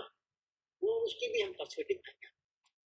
तो ये देखिए, वहाँ पर इस तरह के मेगालिथिक स्ट्रक्चर्स हैं। देखिए, इसको स्टोन है जो, आप में से कई ने जो इतिहासकार हैं वो देख रहे हैं, ये स्टोन है ये अब मैं हूँ, मेरी पत्नी है वहाँ पर। इनकी क्या महत्व है जो आपके हिस्टोरियंस हैं, आपके यहाँ पर और आर्कियोलॉजी से संबंधित है तो इसका एक लेक्चर हमारा कल होने वाला है, मैं निमंत्रण भेजूँगा आपको सुनना चाहते हैं सुन सकते हैं और वैसा का वैसा हमको जयपुर के जंतर मंतर में मिल रहा है। ये देखिए जंतर मंतर है और ये राम यंत्र इसका नाम राम यंत्र है। इसके अंदर भी एक बीच में बड़ा पत्थर है। इसमें भी आप देख रहे हैं, एक काला एक लोहे का निशान है। और ये जो लोग खड़े हैं, जब हमारा बहुत ज़्यादा आना आना जाना हो गया तो वहाँ के जो सबसे बड़े गुरु हैं, उनको मैंने भारत आमंत्रित किया। तो आप देख सकते हैं, ये बीच में है, ये वहाँ के सबसे बड़े गुरु हैं, ये द्विज है, जिनको द्विज बोलते हैं, उनकी पत्नी है तो और साथी लोग हैं। मैं उनको दिखाने ले गया कि देखिए आपका स्टोन है और हमारा ये जो राम मंत्र है, ये जंतर मंत्र में जयपुर के दिल्ली में भी है निश्चित रूप से तो ये जंतर मंत्र है, इसको राम यंत्र बोलते हैं। ये आयोना द्वीप में, आयोना द्वीप स्कॉटलैंड में सबसे पुराना विष्णु मंदिर जिसको उन्होंने ध्वस्त कर दिया और वहाँ पर अपना चर्च बना लिया। तो ये जो आयुना द्वीप है, स्कॉटलैंड के अंदर है, बहुत कठिनाई से जाना पड़ता है, बहुत कठिन रास्ता है उसका। जहाज़ से जाना पड़ता है, फिर बस से, फिर नाव से जाना पड़ता है, फिर पैदल जाना पड़ता है। तो मैं वहाँ पर गया, वहाँ पर। और ये देखिए, मैं जब ये ये जो चर्च है, मैं गया तो उनका जो पोडियम है, जहाँ से वो भाषण देते हैं या पादरी लोग बोलते हैं। तो मैंने पूछा कि ये ये तीन आपको इसमें मछलियाँ नज़र आ रही होगी। आप देख सकते हैं ये तीन मत्स्य देवता ये वहाँ मत्स्य देवता तो मत्स्य देवता को पूछते हैं और जो सैलमन मछली है, उसको वो मत्स्य देवता सैलमन मछली को ही मत्स्य देवता मानते हैं। तो ये मैं वहाँ जब गया, वहाँ और भी बहुत सारे सामान मिलेंगे और और आगे हम आगे आपको बताते हैं। तो ये देखिए, किस तरह से मत्स्य देवता आप देख रहे हैं, ये तीन मछलियाँ, ये मत्स्य देवता है। और इसको फिर इसी को एक स्वरूप दिया उन्होंने जिसको वो ट्रिस्कल बोलते हैं। जिसको ट्रिनिटी बोलते हैं। ट्रिनिटी जिसमें आ जाता है। तो ये सारे, हर तरह के तीन अर्थ वाटर स्काई या spiritual physical celestial life death rebirth past present future earth water sky and creation protection destruction तो ये सारी चीज़ें जो त्रिनीति में आ, तो आ जाती हैं। वो इसको ये दर्शाता है और ये उनका शुभ चिन्ह है वो। हर कोई इसको पहनता है अपने गले में पहनते हैं। तो उसी आयोना द्वीप के अंदर सामने देखे कुआ है। और ये हवन कुंड है। वहाँ वहाँ पड़ा हुआ इसलिए फ़ोटो मेरे लिए भी है। एक बहुत बड़े पत्थर में उन्होंने हवन कुंड बना करके लेकिन वहाँ वहाँ पर बाहर लॉन में पड़ा हुआ है जिसकी मैंने फ़ोटो लेके आया हूँ। और वैसे ही वहाँ कुआ और कुओं को भी पूछते हैं। मुझे याद है, मैं अमेरिका में था तो वहाँ के जो पहली ब्रिज का जिसका नाम था सर्किल ऑफ़ हॉल तो मैंने पूछा, आपका नाम सर्किल ऑफ़ हॉल क्यों है? क्योंकि कहते हैं कि हमारे इंग्लिश ब्रिटेन के अंदर हमारा एक कुआ है, जिसका नाम हम हॉल बोलते हैं। और उसके अंदर हम मत्स्य मछली को पालते हैं, वो हमारा शिप होता है। और हम हर वर्ष वहाँ पर जाते हैं सैलमन मछली पालते हैं। लेकिन चर्च ने क्या करा? जहाँ जहाँ ये कुएँ थे, जो जिनकी मान्यताएँ थी, उन सबके ऊपर एक क्रॉस लगा दिया। देख सकते क्रॉस लगा दिया। या क्रॉस लगा दिया? वैसे ही ब्रिटेन के अंदर इतने पुराने स्वास्थ्य हमारे भारत में भी नहीं मिले। ये देखिए, ये ब्रिटेन से ये मेरी फ़ोटो ली हुई है। ये स्वास्थ्य है एक स्थान है, ब्रेडफोर्ड। ब्रेडफोर्ड के बाद जगह का नाम है इल्कली और यहाँ ये देखिए, यहाँ लिखा हुआ है ये स्वास्थ्य स्टोन। ये बहुत बड़ी पहाड़ी थी, उस दिन भयानक बारिश हो रही थी। लेकिन मैं भारत से गया था तो मैं डिटर्मिन था झाड़ियाँ थी कांटेदार झाड़ियाँ, उनको पार करते हुए हम वहाँ पहुँचे। अब सरकार उसने चारों तरफ़ इसकी फेंसिंग करी है और ये देखिए स्वास्थ्य आपको ये मिलता है इसका इसका नाम ही स्वास्थ्य स्टोन है। ये वहाँ का मैप है। इंग्लैंड का मैप है। इसमें लिखा है स्वास्थ्य स्टोन। ये ये स्थान है जिसको हम ग्लेस्टनबरी कहते हैं। ये स्थान भी अपने आप में, ये ब्रिटेन के अंदर ही है ग्लेस्टन ये उसको आइल ऑफ़ एवलॉन भी बोलते हैं। इसको किंग आर्थर जो है, उससे भी जुड़ा हुआ है, क्योंकि किंग आर्थर को जो उसकी तलवार थी, जिसको एक्स कैलिबर बोलते हैं, वो भी वहाँ पर एक मानते हैं कि कोई तालाब है, उसमें देवी ने स्वयं आकर के उस किंग आर्थर को ये उसको तलवार लेकिन ये जो मुझे ड्रोइड्स दिखाने ले गए हैं वहाँ पर मुझे उन्होंने मुझे ये बताया कि ये हमारा आश्रम था इसको चर्च ने ले लिया। और इसकी महत्ता इतनी अधिक महत्ता है कि इस, इसके बिल के ऊपर मैं आपको पूरा एक घंटे का भाषण दे सकता हूँ। लेकिन ये सबसे बड़ा उस क्षेत्र का ड्रूइड्स का आश्रम था जहाँ पर कि द्विज ब्राह्मणों को तैयार किया जाता चर्च ने इसके ऊपर कब्जे कर लिया लेकिन चर्च के लिए भी महत्वपूर्ण है, क्यों महत्वपूर्ण है? क्योंकि जीसस का जो होली ग्रेल है, जो कप है, जिसके अंदर उनके चाचा उसके खून लेकर के आए और उस खून को इतनी दूर समुद्र से होते हुए आकर के, इस छोटे से द्वीप के अंदर आकर के इस झरने में उसको प्रवाहित तो प्रश्न ये उठता है कि जीसस के जो होली ग्रेल है, उस कप को यहाँ क्यों लेके आए? वो मानते हैं चर्च कहता है कि ये जो झरना दिखाई दे रहे हैं आपको, ये झरना है, और इसका ये जरा सा लाल सा रंग आ रहा है तो कह रहे कि जब जीसस का खून की बूंदे उसमें गई तो ये लाल हो गया, तब से ये लाल। तो ये होली ग्रेल को क्यों लेके आए? तो ब्रूइंग्स क्या बोलते हैं कि ये हमारा था, ये हमारा था, इसको चर्च ने ले लिया, लेकिन जीसस जो है वहीं के जो स्कॉटलैंड के मिनिस्टर है चर्च के मिनिस्टर है, वो कहते हैं कि जीसस बचपन से यहाँ पे थे, अपनी मदर के साथ और चाचा के साथ। वो दिन का व्यापार करते थे। ये मैंने अपनी पुस्तक में पूरा लिखा है पूरा वर्णन किया है। और वहाँ पर क्योंकि ऐसा प्रतीत होता है कि जीसस ने अपने बचपन में पूरा ज्ञान इन्हीं द्विज ब्राह्मणों से लिया होगा। ऐसी कल्पना मेरी है। और वो लोग भी यही कहते हैं। वो नाम से अपने बताना नहीं चाहते क्योंकि वो बहुत अभी भी घबराए भी रहते हैं कि हाँ जीसस को ज्ञान द्विज ब्राह्मणों ने ही दिया होगा। और ये होली ग्रेल कहते हैं, और आज भी मिस्ट्री, आप होली ग्रेल डालेंगे तो आपको उसके ऊपर बहुत सारे ग्लेस्टनबरी के बारे में पता लग जाए लेकिन आज भी ये है कि ये वहाँ होली ग्रेल आए थे क्यों लेके आए? क्योंकि तो द्विजों ने ही जीसस को ज्ञान दिया। और एक है कि इसी के पास में एक अदृश्य द्वार है, जो दिखाई नहीं देता। वही कल्पना जैसे हमारे हरिद्वार में है जो हरिद्वार है आत्माएँ एक अदृश्य द्वार से स्वर में चली जाती है। एग्जैक्टली exactly, वही कल्पना यहाँ की भी है ये हरिद्वार की तरह ही ये तो ये आत्माएँ यहाँ आती हैं और स्वर्ग में यही से आत्माएँ जाती है इसकी महत्ता ये अपना में बहुत बड़ा विषय है। मैं एक बहुत ही महत्वपूर्ण स्थान पे आपको ले लेके जा रहा हूँ जिसका नाम तारा है। ये आयरलैंड में है ये विशाल शिवलिंग है। ये आयरलैंड का सबसे महत्वपूर्ण स्थान है और ये बीजों का सबसे बड़ा आश्रम रहा है। आज भी वहाँ के जो ग्रुप्स हैं, वो सारे अपने त्योहार यहीं आके पूजा पद्धति मैं इसको बोलता हूँ, ये उज्जैनी है। ये बिल्कुल उज्जैन की तरह नगरी अब यहाँ कोई बसावट नहीं है। केवल चर्च ने एक चर्च बना रखा है, एक छोटा सा म्यूज़ियम है और ये शिवलिंग। इसकी क्या महत्व को समझना इतना महत्वपूर्ण है। और यहाँ का जो राजा होता है, उसको ल बोलते हैं। तो ल का मतलब संस्कृत में इंद्र ही होता है। तो ये इंद्र का इंद्र का स्थान है। और ये जो आश्रम था, जैसे हमारे यहाँ पर भी ऋषि मुनियों की व्यवस्था होती थी। राजा आश्रम में जाकर ऋषि मुनियों से आशीर्वाद लेता था। वैसे ही आयरलैंड का राजा को इस क्षेत्र में कोई अधिकार नहीं था। वो द्विज के आश्रम के जो गुरु होते थे उन्हीं के नियम कानून चलते थे।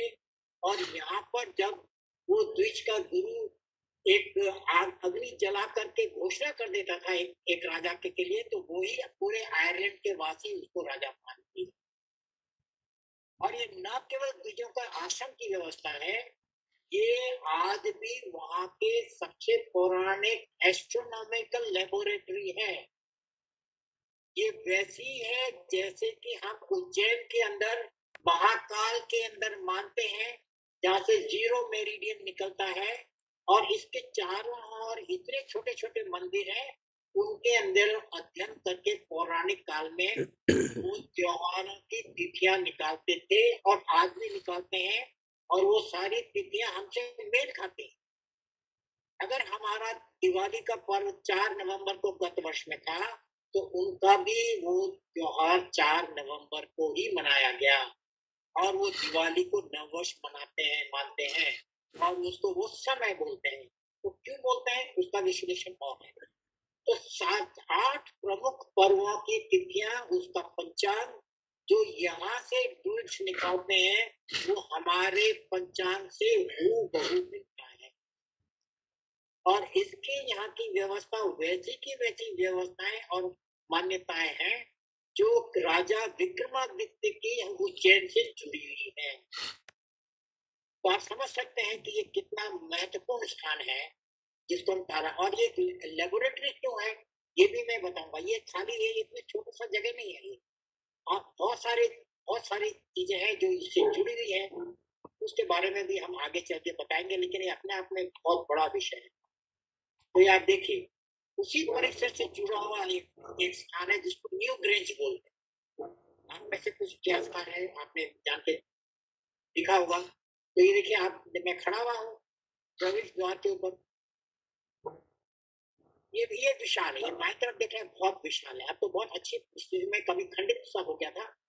और ये यहाँ पर सूर्य की किरणें केवल उत्तरायण के समय ही प्रवेश कर केवल उत्तरायण के और ऊपर में ये देखिए, एक और है, बड़ा सा छेद है। यहाँ पर पौराणिक काल में दो क्रिस्टल के पत्थर रखे जाते थे। ये बहुत, ये ये सब्जेक्ट अपने आप में एक सब्जेक्ट है। इसके ऊपर एक अपना एक ही पूरा सत्र जा सकता है। तो ये बहुत बड़ा विषय है, इस पे हम आगे चल के कभी बताएँगे। तो आप देखिए कि वहाँ के गुरुओं द्वारा तिथियाँ और डिग्री कौन से मंदिर से जुड़ रही है, वो तिथि कौन कौन सी है और ये सारे पर्व हमारे पर्व अभी इसमें ज़्यादा आपको अधिक मैं बताना नहीं चाहूँगा, लेकिन मैंने आपको एक दिवाली का बताया तो दिवाली की तिथि मिल रही है और ये आज भी, वो द्विज के ब्राह्मण आज भी वहाँ जाकर के ये आठ पर्व मनाते हैं और ये एक बहुत पवित्र स्थान है। ये देखिए, ये फ्रांस के अंदर ब्रिटनी है, ये गौरी निक्स है, ये मेगालिथिक स्ट्रक्चर है इसके बारे में कल कल हम बताने वाले हैं। तो ये देखिए, इसमें भी, लेकिन वहाँ के चर्च ने क्या प्रचलित किया हुआ है कि ये सब बरियल प्लेसेस है। यहाँ पर जो है मृत्यु को को गाड़ा जाता था। लेकिन वास्तविकता ये नहीं है। ये जो है, जिसके आखिर में जा करके देखिए, एक ऐसी शिला मिलती है, जिसपे जा करके उत्तरायण के समय में सूर्य की किरणें जाके स्पर्श करते आते और ये जो अंदर टनल है, अंदर जाने का रास्ता है वो आप देखिए, ये कैसा है? ऐसा है जैसे कि सांप की कैचुली होती है। ये सांप की कैचुली है। एक हमारे यहाँ काल दोष भी आता है। ये उसके बारे में अभी चर्चा नहीं करूँगा। और यहाँ ऊपर ये देखे पत्थर के लिंटल है और उसके ऊपर दो सांप बने हुए हैं। हमारे देवरे होते हैं गाँव में, जिसमें सांप के जो है, नाग देवता के बने हुए होते हैं। तो ये नाग देवता के यहाँ पर तो है, इसमें दिखाई नहीं दे रहे। लेकिन हमारे पास और भी स्लाइड्स हैं और कभी मौका मिलेगा तो दिखाएँगे। वैसे ही ब्रिटनी फ्रांस के अंदर ये कारनेक है। आप देख सकते हैं मैं यहाँ पर और वहाँ का ये ड्रूड है। तो ये एक किलोमीटर लंबे पत्थर है।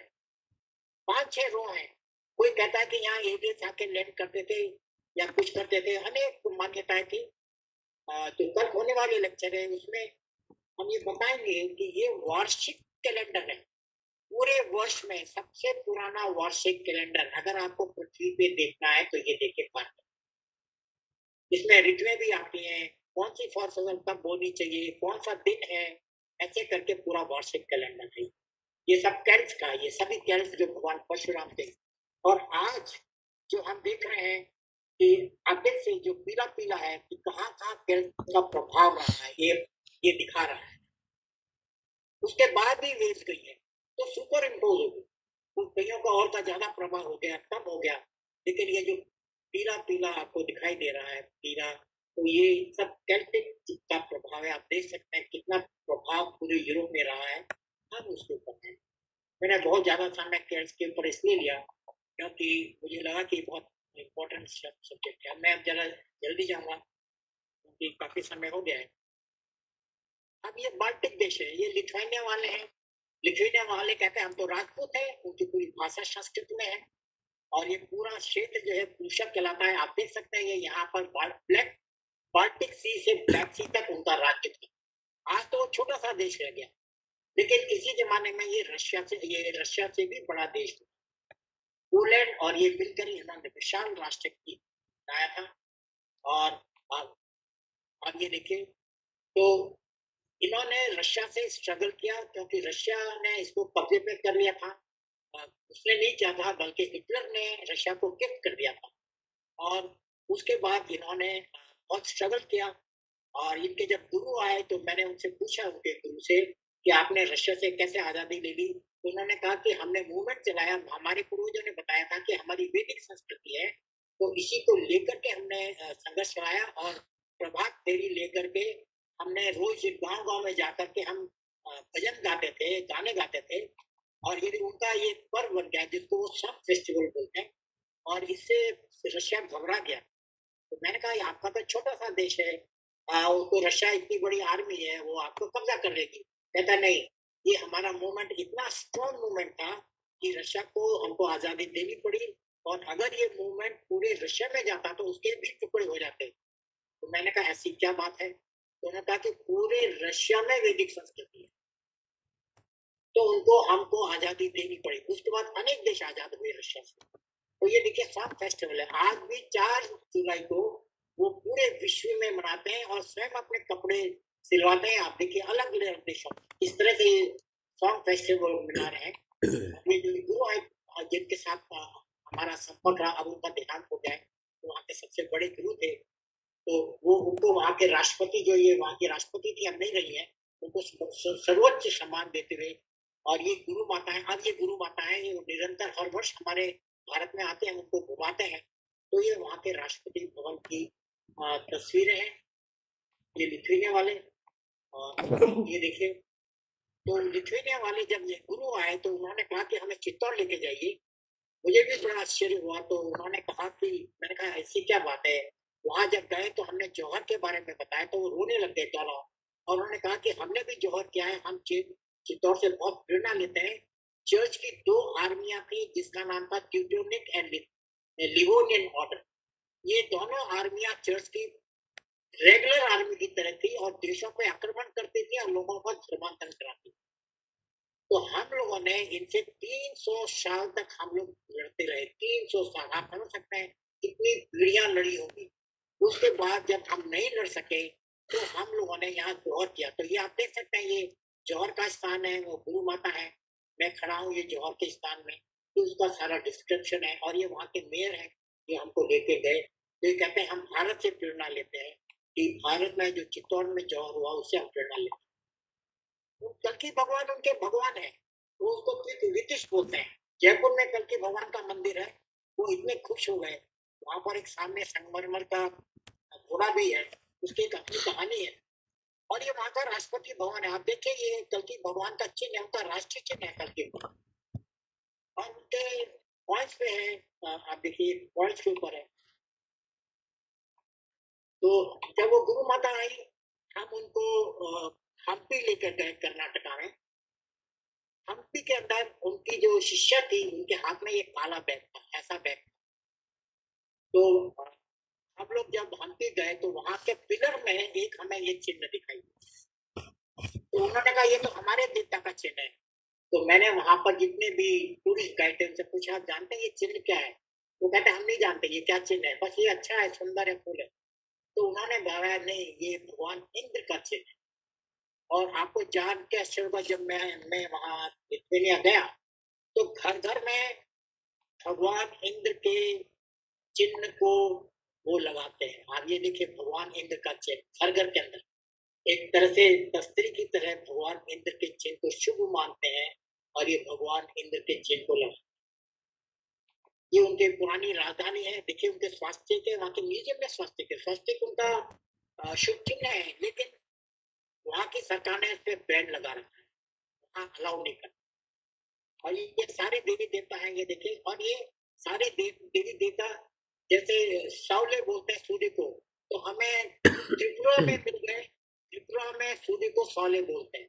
लक्ष्मी जी को लाई में बोलते हैं सब त्रिपुरा में मणिपुर में और काली माँ को लाउडली बोलते हैं ये का ये शब्द वहाँ पर इस्तेमाल करते हैं लिथुएनिया में शब्द तो आप कल्पना कर सकते हैं त्रिपुरा से लिथुएनिया का क्या लिंक हो सकता है तो हमने अध्ययन किया इसके ऊपर और देखिए बिल्कुल हमारी तरह विवाह होता है चार फेरे होते हैं आप देख सकते हैं अग्नि है ये विवाह हो रहा है ये मेरी फ़ोटो ली हुई है और वहाँ पर जब हम गए तो हमने एम्बेसडर को भी बुलाया आप आके देखिए ये सब अपने आप को राजपूत बोल रहे हैं और कहते हैं हमारी वैदिक संस्कृति है और ये देखिए ये ये गुरु माता है जो चार फेरे ले रहा है आजकल ये सबसे पॉपुलर विवाह हो गया है वहाँ पर क्योंकि लॉ बना हुआ है तो चर्च में ही शादी करानी पड़ती है उसके बाद वो लोग आकर के इनसे दोबारा शादी कराते हैं आप देख रहे हैं हम लोग वहाँ खड़े हुए हैं हमारे साथ काफ़ी और मुझे मैं जो मैंने जब खोज करी तो लोगों को विश्वास नहीं हुआ तो मुझे कुछ लोगों को अपने साथ ले जाना पड़ा तो गायत्री परिवार के चिन्मय पंड्या जी को मैं साथ लेके गया मैंने बताया आइए आप देखिए आप इतने धर्म गुरु हैं तो आप देख सकते हैं बीच में चिन्मय पंड्या जी है और जब गुरु माता उनके पति के दाहित हो गया गुरु माता बनी उस कार्यक्रम में हम सब लोग थे आप आप देख सकते हैं मैं यहाँ खड़ा हूँ ये गुरु माता है तो मैंने चिन्मय पंडा जी से निवेदन किया कि क्या आप इनको कोई विशेष ऑनर दे सकते हैं तो जैसे वो गुरु माता बनी उसके बाद उन्होंने उनको उनको देव विश्वविद्यालय जो है संस्कृति विश्वविद्यालय उसकी तरफ़ से डॉक्टरेट की डिग्री वहीं पर हज़ारों शिष्य खड़े हुए थे उनके उनके सामने उनको ये उनको उपाधि दी ऑनरी डॉक्टरेट आप देख सकते हैं चिन्मय पंड्या जी और ये देखिए मैं ऊपर जाके दूसरा कार्यक्रम में उनके पाँव छू रहा हूँ और ये देखिए हम के यूनिवर्सिटी से एमओयू साइन कराया, जिसमें चिन्मय पंड्या जी हैं और मैं भी हूँ यहाँ पर। और फिर अब उन्होंने देव संस्कृति विश्वविद्यालय में लिथुनिया भाषा के ऊपर एक अपना विभाग ही खोल दिया जहाँ पर लिथुनिया की भाषा को वो सिखाते हैं। और ये देखिए, ये चिन्ह जो है, ये स्वास्थ्य का है। वो स्वास्थ्य को किस तरह रूप में वो, और भी एक स्वरूप में वो लोग बताते हैं, वो ये मैंने आपको आशुतोष जी ज़्यादा समय हो गया हो तो आप टोक दीजिएगा मैं रुक जाऊँ सर समय तो हो गया है लेकिन मैं चाहता हूँ कि आप इसको वाइंड अप करें क्योंकि जितने पर्सपेक्टिव आपने हमें बता दिए हैं मुझे भी थोड़ा सा लोभ है कि भाई इसका एंथ्रोपोलॉजिकल सोशियोलॉजिकल और ये सारे पर्सपेक्टिव जो हैं वो हमारे सामने आ जाएँ। तो ज़रा ब्रीफ में आप अगर इसको कंक्लूड करें तो बहुत अच्छा रहेगा। बिल्कुल मैं ब्रीफ में जाता हूँ। जी। तो आप ये देखिए ये वहाँ का वाद्य है, लिथुएनिया का, इस पे ज़रूर मैं आपको ज़्यादा बोलना चाहूँगा कि लिथुएनिया का वाद्य हमारा, इसका नाम कनखल है। इस वाद्य का नाम हरिद्वार में हमारे कनखल से जुड़ा हुआ और कनखल से क्यों जुड़ा हुआ है? वो वो हम आगे आगे जाके देखें। तो ये देखिए, ये नाग देवता को पूछते हैं, लेकिन वहाँ नाग देवता नहीं होता है, वो खरे खरे स्नेक जो है, उसको पूछते हैं। आप देखिए, ये हमारे छत्तीसगढ़ के जो पहले चीफ मिनिस्टर थे उनके घर पे हम लोग भोजन कर रहे हैं। और वो क्या बोलते हैं उनके द्वारा प्रेस कॉन्फ्रेंस है। और और इस बहन ने वंदे मातरम गाती है वहाँ देखिए वहाँ पर वंदे मातरम और मैं आपको जो कनखल के बारे में बता रहा था तो कनखल के बारे में ये कल्पना है इसको मैं वापस दिखाता हूँ कि उनकी यही है कि हमारे यहाँ गंगा नदी नहीं है तो हमने उसके स्थान पे वाद्य बनाया। हम भी जब हरिद्वार जाते हैं तो हम पुष्प चढ़ाते हैं। तो पुष्प विसर्जन करके कल्पना है कि पवित्र गंगा जी के उस पे आत्माएँ जाकर के ऊपर स्वर्ग में चले जाते हैं। तो उनकी भी यही कल्पना है कि ये भी हमारे हरिद्वार की तरह है। और ये कहते हैं कि ये जो कंकल का वाद्य है, जो हमारे वृद्धजन है, उसके पास में बैठ के हम बजाते हैं। इससे यही कल्पना है कि एक पवित्र नदी से वो आत्मा ऊपर जा जा रही है। और ऊपर जाके वो दक्ष प्रजापति, वो दक्ष प्रजापति ही बोलते हैं, कोई अंतर नहीं है। दक्ष का स्थान है। और वहाँ पर दो दो दो लोग रहते हैं। एक वायुपति और अप्सरा। ये वायुपति को वायुपति ही बोलते हैं और अप्सरा को अप्सरा ही बोलते हैं। तो जो अच्छी आत्मा है, उनको अप्सरा अंदर ले जाती है और जो वायुपति है, जो बुरी आत्माओं को तेज हवा से दूर भगा देते हैं। तो आप कल्पना कर सकते हैं कि कितना पौराणिक संबंध होगा। कनकल, हरिद्वार लिथुएनिया चार हज़ार किलोमीटर दूर, जो कहते हैं कि हमारी वैदिक संस्कृति है। और ये गुरु माता ने जो प्रेस कॉन्फ्रेंस दी, आप देखिए वो क्या कहते हैं, भारत हमारी दूसरी मातृभूमि। अब मैं ट्रांसल्वेनिया पे आऊँगा, ये हंगरी है, और इसके अंदर आप देख सकते हैं, ये बहुत बड़ा विषय है, बहुत बहुत संक्षिप्त में कहूँगा, ये कहते हैं हम चौहान हैं। चौहान राजपूत हैं और ये और कभी मैं लूँगा लेकिन मैं जरा तो इनकी कुल देवी हमारी कुल देवी भारत में मिल रही उनको। ये देखिए ये बुदापेस्ट है ये नॉर्थ ट्राइबल किंग्स है। तो ये राजा अरबाद के समय के गए हैं और ये कहते हैं इन्होंने ये हून है ये कहते हैं हमारा संबंध भारत से शाखा होना बोलते हैं। और हमने बत्तीस देशों को स्थापित किया यूरोप के और वहाँ पर जब गाँव में हम लोग गए तो हमने कुछ वृद्ध महिलाओं से पूछा कि आप लोग कहाँ से आए तो कहते हैं कि हम राजा अखबार के साथ भाग से आए रीना ये दरवाज़ा बंद करना। देवी की रीना? लेके आ गए। तो ये विषय बहुत लंबा चला तो ये और ये देखिए वो भी कल की भगवान को पूछते हैं कल की भगवान को चावल बोलते हैं। ये सर्वेश्वर को पूछते हैं। देखिए ये सर्वेश्वर सर्वेश्वर को किस रूप में पूछते हैं? और सर्वेश्वर को हम जानते हैं, ये कामाख्या मंदिर में भी सर्वेश्वर है और हिरण भी उनकी देवी है। हमारी जैसलमेर के जो राजा है वो हिरण को देवी मानते हैं, ये लोग भी देवी मानते हैं। और ये भी एक श्लोक था जब हम पहली बार मिले जिसमें कि अपने संस्कृत का श्लोक है, मंदिर में भी लिखा हुआ है कि हमारे मणियों का द्वीप में जिसमें हमारी देवी विराजमान है। एग्जैक्टली सेम उन्होंने व्याख्यान किया कि ये हमारी देवी और फिर हमने उनके लिए हवन करवाया। और फिर जब वो भारत में आए तो हम शाखा अम्मा उनकी देवी है। शाकंभरी माता जो आप अजमेर के पास में जो नमक के, नमक स्थान है सांबर लेक है, उसके वहाँ पर शाखा अम्मा को जो एक अपने आप में बहुत पवित्र स्थान है और शक्तिपीठ है। तो ये कहते हैं, ये तो हमारी देवी है, यहाँ कैसे आ गई?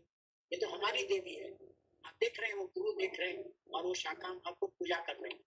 तो ये देखिए उनका कितना विशाल अम्बान रहा है। अब तो छोटा हो गया है। इसी जमाने में कितना विशाल उनका राज्य होता था। तो ये उसका मैंने बताया। अब हम आ रहे इटली, ग्रीस के ऊपर।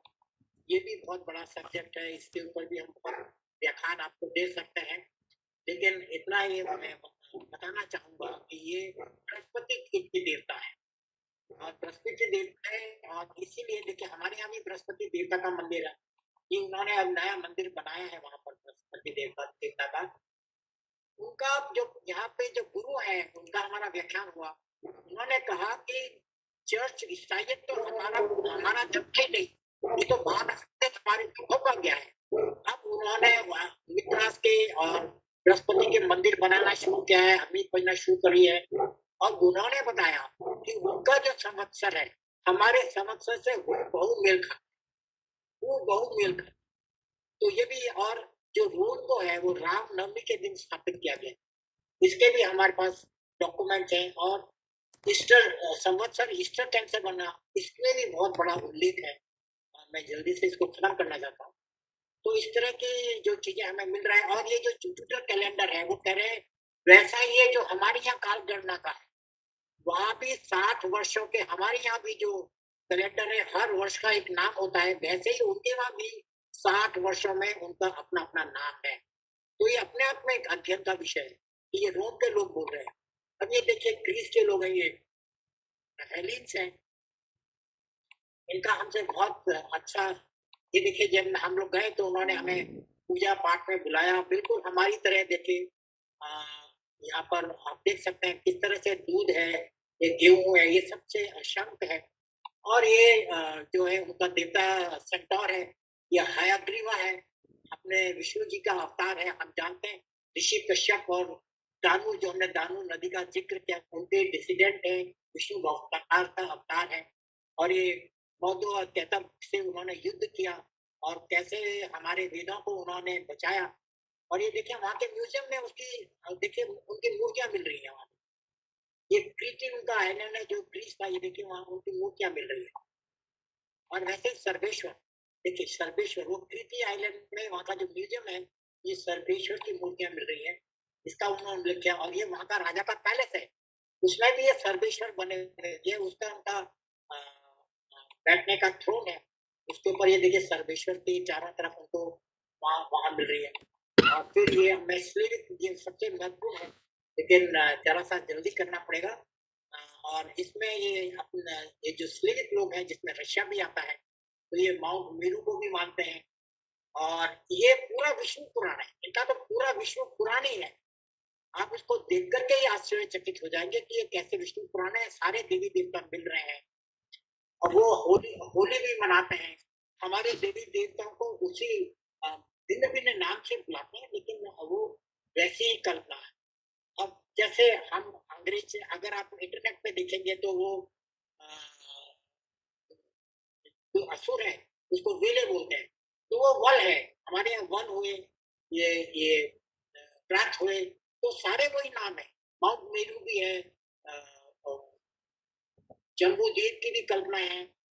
तो ये इस तरह के सारे कुछ हमको वहाँ से मिल रहे हैं। और ये देखिए, उनकी ये कल्पना है कि ऊपर स्वर्ग है, ये पृथ्वी है और नीचे जो है पाताल लोग है। उसके लिए ये कॉस्मिक टीवी ये रंगोली भी बनाते हैं। और वो बताते हैं कि ये ऊपर जो है, यहाँ पर एक सफ़ेद घोड़ा है या काला घोड़ा है तो इंद्र का सफ़ेद घोड़ा है और ये जो असुर है, उनका काला घोड़ा है। तो इस तरह का ये उनकी सारी कल्पना है और ये उन्होंने, इसी तरह की जो पौराणिक चीज़ें मिली हैं, उसके बारे में उन्होंने बताया। तो किस तरह से इंद्र को पेरू बोलते हैं। पेरे है मतलब जिसे वल बोलते हैं हम लोग वो पृथ्वी को मानते हैं। और वो मानते हैं कि पृथ्वी के ऊपर एक सफ़ेद पत्थर है, उसके बगल में एक कुआँ है जिसमें सफ़ेद पदार्थ है। वो सफ़ेद द्रव से वो पूजा करते हैं, जैसे हम लोग शिव की करते हैं। और एक पक्षी है जिसको वो ग्रिफिन बोलते हैं। ग्रिफिन मतलब सर्वेश्वर। और आकाश को, और जैसे हम स्काई है तो वो वो कहते हैं कि ये बहुत बड़ा एक पक्षी है। उसको वो गगन बोलते हैं। आकाश को गगन बोलते हैं। गगन शब्द वहीं से आया हुआ है। तो कैसे वो गगन को प्रोटेक्ट करते हैं? और होली मना रहे हैं आप ये देखिए होली मना रहे हैं। फिर हम होली ऐसे मनाते हैं तो ये देखिए वैसे एक एक महिला और एक पुरुष की बनाते हैं, उसमें फिर पूरे गाँव में लेके जाते हैं और फिर ये देखिए गाँव में लेके जा रहे हैं, फिर उसको जलाते हैं और फिर उसको जल में विसर्जित कर देते हैं, ये देखिए जल में। और ये इस तरह के वो जो है मोटिस बनाते हैं, घरों में लगाते हैं, अपने कसीदे गाड़ी में बनाते हैं। तो ये पृथ्वी माँ है तो पृथ्वी माँ जो है, धरती को देवी मानते हैं और एक तरफ़ इंद्र है और एक तरफ़ असुर है। तो ये कहते हैं कि पूरे साल में जो पूरा वर्ष होता है उसमें में सुर और असुरों में युद्ध चलता रहता है। कभी सर्दी, कभी गर्मी अलग अलग जगह तो ऐसे कभी इंद्र स्वर्ग पे चले जाते हैं, कभी असुर स्वर्ग स्वर्ग में कब्जा कर लेते हैं। तो ये सारी उनकी कल्पनाएँ वो है जो उनके वहाँ के जो पुस्तकें हैं वहाँ के जो किताबें हैं वहाँ पर वहाँ के जो कपड़े हैं उसमें भी हमें नज़र आते हैं।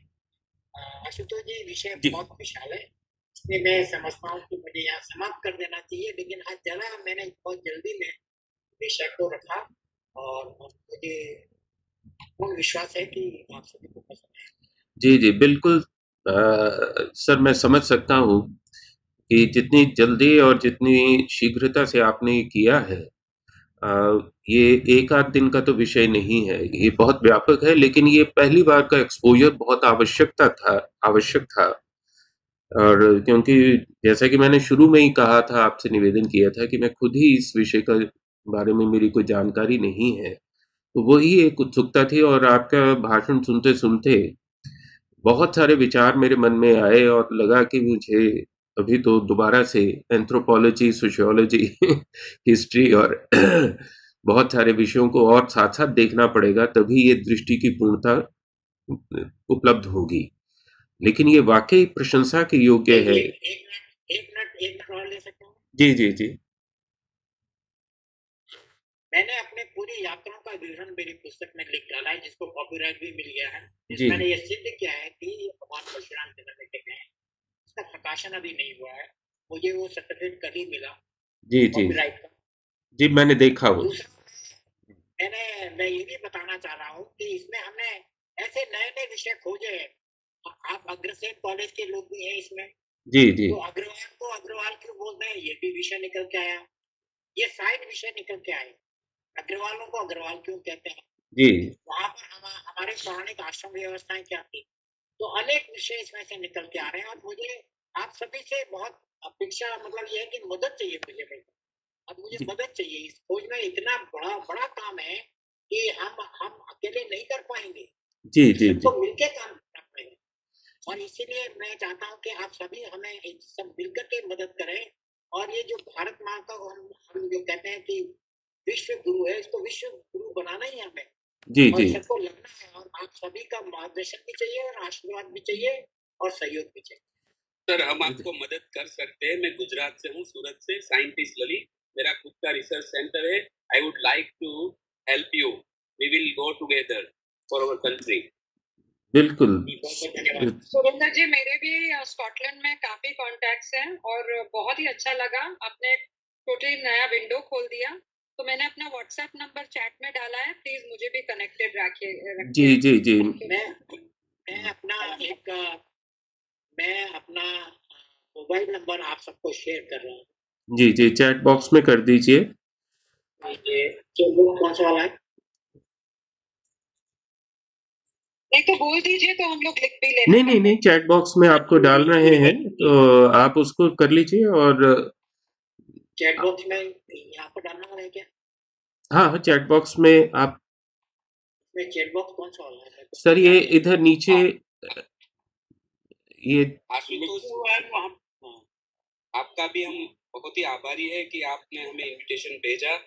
Sir very very thankful to you Ashutosh ji. नहीं आप लोगों से मिलके बहुत प्रसन्नता हुई कि कि मैं भूरी भूरी प्रशंसा करता हूँ और प्रणाम करता हूँ आपने जिस प्रकार बड़े मनोयोग से शोध कार्य को संपन्न किया है और इस आपकी यात्रा अनुभव की अब जारी है।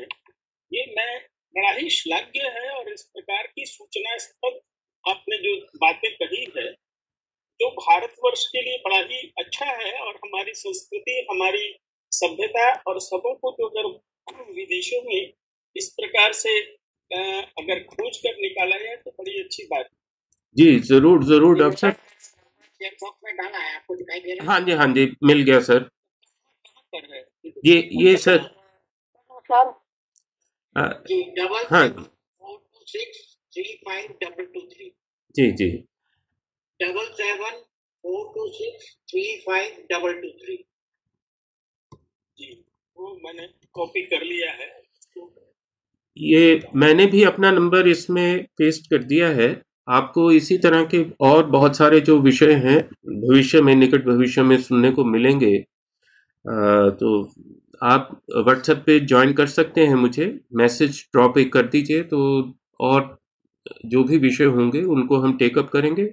और जो डॉक्टर साहब ने ये विषय लिया है, माथुर साहब ने इसको तो मुझे लगता है कि अभी कंटिन्यू करना पड़ेगा और मैं बाकी जो हमारे साथ जुड़े हुए कॉलेजेस हैं, उनको भी ये आग्रह करूँगा कि उसको और इसके जो उप विषय हो सकते हैं, उनको लेकर के इसके ऊपर लेक्चर भी कराएँ और हमारा ज्ञान भी बढ़े। और मतलब इस वक्त मुझे ये लगता है कि ये सारी चीज़ें हमारे सिलेबस में एडअप होनी चाहिए। इसके बिना हम क्या सिलेबस पढ़ा रहे हैं? क्या हमारी दृष्टि है और क्या सिलेबस पढ़ा रहे हैं? तो सरकार बेचारी क्या कर लेगी कि भाई इंटर डिसिप्लिनरी बनाओ और होलिस्टिक एजुकेशन बनाओ? बड़ा मुश्किल है, लेकिन जिनके भी जो भी कोई प्रश्न हो टिप्पणी हो आप बात कर सकते हैं अपना परिचय दे करके। देना चाहता हूँ। जी अविनाश जी। बीच में गायब हो गए थे। हमारे श्रीनगर आए थे और तिब्बत के किनारे किनारे जो विशाल प्रचार और प्रसार हुआ था वो वहाँ तक तब तक रहे जब उनका पुनर पुनर पुनरुद्गम जो है वहाँ नहीं हुआ। इंग्लैंड में और वहाँ जाकर के उन्होंने जो मिराकल्स दिखाए हैं ये सारा का सारा मिराकल्स जो है ये बौद्ध मिराकल ही वहाँ पर लिए गए। दूसरी बात यह है कि जब सब पूरे विश्व में सभ्यता और संस्कृति का अभ्युदय नहीं हुआ था भारतवर्ष उस काल से ही अपने तीन तीन विश्वविद्यालयों से विश्व को पढ़ा रहा था। जो हमारे माथुर साहब ने विश्व गुरु बनने की परिकल्पना की को, को आगे बढ़ाने का कार्य किया है तो वो थे विक्रमशिला तक्षशिला नालंदा और चौथा है एक और जस्ट अभी मैं भूल रहा हूँ मेरे घर से ही मेरे पास में मैं नालंदा का रहने वाला हूँ ये सारे के सारे विश्वविद्यालय वहाँ पर संस्कृति के अभ्युदय होने के पहले ही से स्थापित हो चुके हैं और आपका जो अभी जो सबसे बड़ा विश्वविद्यालय इंग्लैंड में जो माना जाता है वो हमारे नालंदा विश्वविद्यालय के आधार पर ही उसकी परिकल्पना की गई। जी। रही बात संस्कृत सर्वभाषा से मूल जितनी सारी बातें आपने कही और जितने शब्दों का आपने जो है उल्लेख किया तो आप अगर उसको एक बार पुनः एनालाइज करेंगे तो आप देखेंगे ये फादर शब्द कहाँ से आया? पिता और उसके बाद वो जाकर के फादर बन गए जी जी जी। अरब कंट्रीज़ में जाएँगे तो वहाँ श्वेत मार्जार का अर्थ होता है उजली बिल्ली। शेप यही बात वहाँ पर भी उजली बिल्ली को कहा जाता है। अश्व वहाँ भी जो है घोड़े को कहा जाता है। तो हमारी संस्कृति हमारी सभ्यता और हमारा संस्कृत हर जगह आपको देखने को मिलेगा। ये थोड़े बहुत फिरत के बाद ही ये सारी चीज़ें आई है। लेकिन आपने जिस मनोयोग से इन सारी चीज़ मैंने मैंने स्थानों को ढूंढ निकाला हमारी सभ्यता और संस्कृति को ढूंढ निकाला वह श्लाघ्य है उसके लिए मैं आपको प्रणाम कर सकता हूँ। इसके बाद हमारे पास कोई शब्द नहीं है। प्रशंसा की। धन्यवाद डॉक्टर साहब। डॉक्टर राजेंद्र जी। जी। हाँ नमस्कार। हाँ नमस्कार। सर अपना परिचय दीजिए। सर सनातन अ, मैं doctor Rajendra DAV college Riga से सर। जी। सर मैं ये मतलब जो सनातन संस्कृति है डॉक्टर साहब ने बड़ा अच्छा व्याख्यान दिया सर उन्होंने। और सर ये जो सर ने जो मतलब जो शब्दों के मेल से जो हमारी संस्कृति के बारे में बताया सर। हम्म हम्म। जी। तो सर मैक्स मुलर ने भी आगे थोड़ी भाषा के आधार पर बनाई हुई है सर जैसे कि मदर मादर और संस्कृत में मातर तो इसी इसी- प्रकार से सर। हम्म हम्म। जी। और सर मेरा एक सवाल एक सवाल ये है सर। जी। सर अठहत्तर ईस्वी में ईसा को हैंग किया गया था सर। हम्म हम्म। तो मतलब उससे पहले मतलब ईसा से पहले वहाँ पर सनातन धर्म ही था और या कुछ और था सर उसके बारे में क्या बात है मतलब प्री क्रिश्चियन एरा में सनातन धर्म था कि नहीं था वहाँ पर ये ये प्रश्न है आपका? जी जी। हाँ जी हाँ जी। जी सर जी माथुर साहब सर बहुत ब्रीफली वेरी ब्रीफली क्योंकि और भी लोग आपसे बात करने में उत्सुक हैं। ये देखिए प्री क्रिश्चियन एरा में तो सनातन धर्म ही था। तो सारा धर्म सनातन धर्म को ही ईसाइयों ने नष्ट करने की कोशिश की।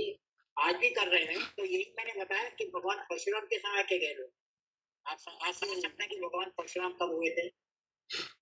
और मैं आपको एक चीज़ और बता देना चाहता हूँ।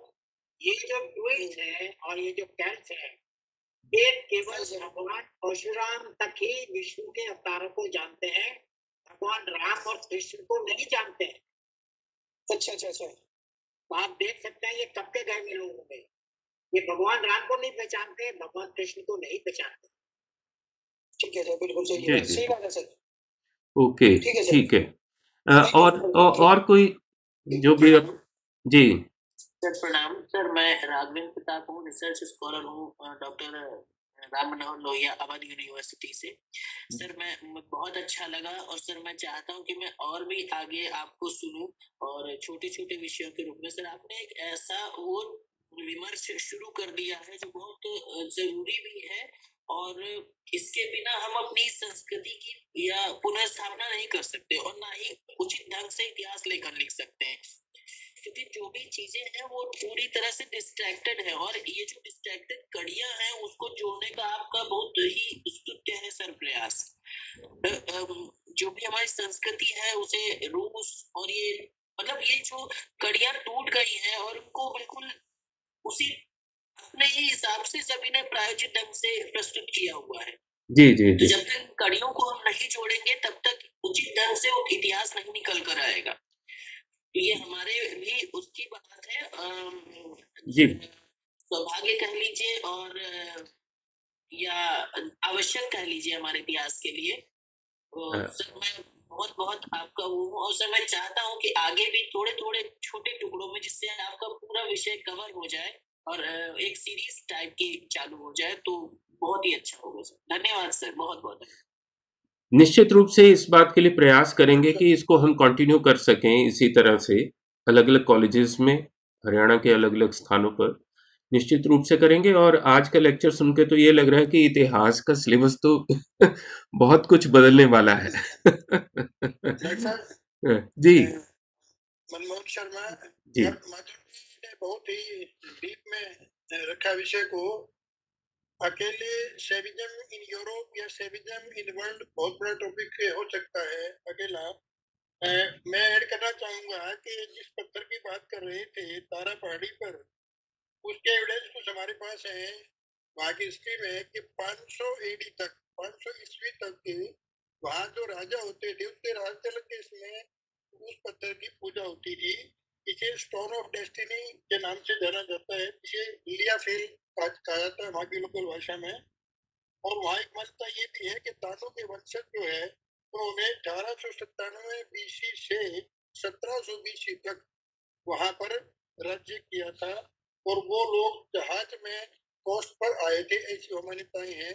तो निश्चित रूप से ये आर्कोलॉजिकल जो है कॉर्पोरेशन कॉर्पोरेट होता है, जो कुछ पता नहीं है, क्योंकि दूसरी बात दानों का जो नाम जुड़ा हुआ है कश्यप की पत्नी नदियों की देवी है, हम यही मानते हैं कि नदियों का उद्भव वहीं से होता है, और दानों की बहन सती थी। इसी प्रकार इटली का जो वेटिकन का जो म्यूज़ियम है एट्रोस्कैन म्यूज़ियम है, उसमें कुछ शिवलिंग रखे हुए हैं, जो दूसरी से सातवीं शताब्दी बीसी के हैं, और वो अवेलेबल है भक्तान को देख सकते हैं।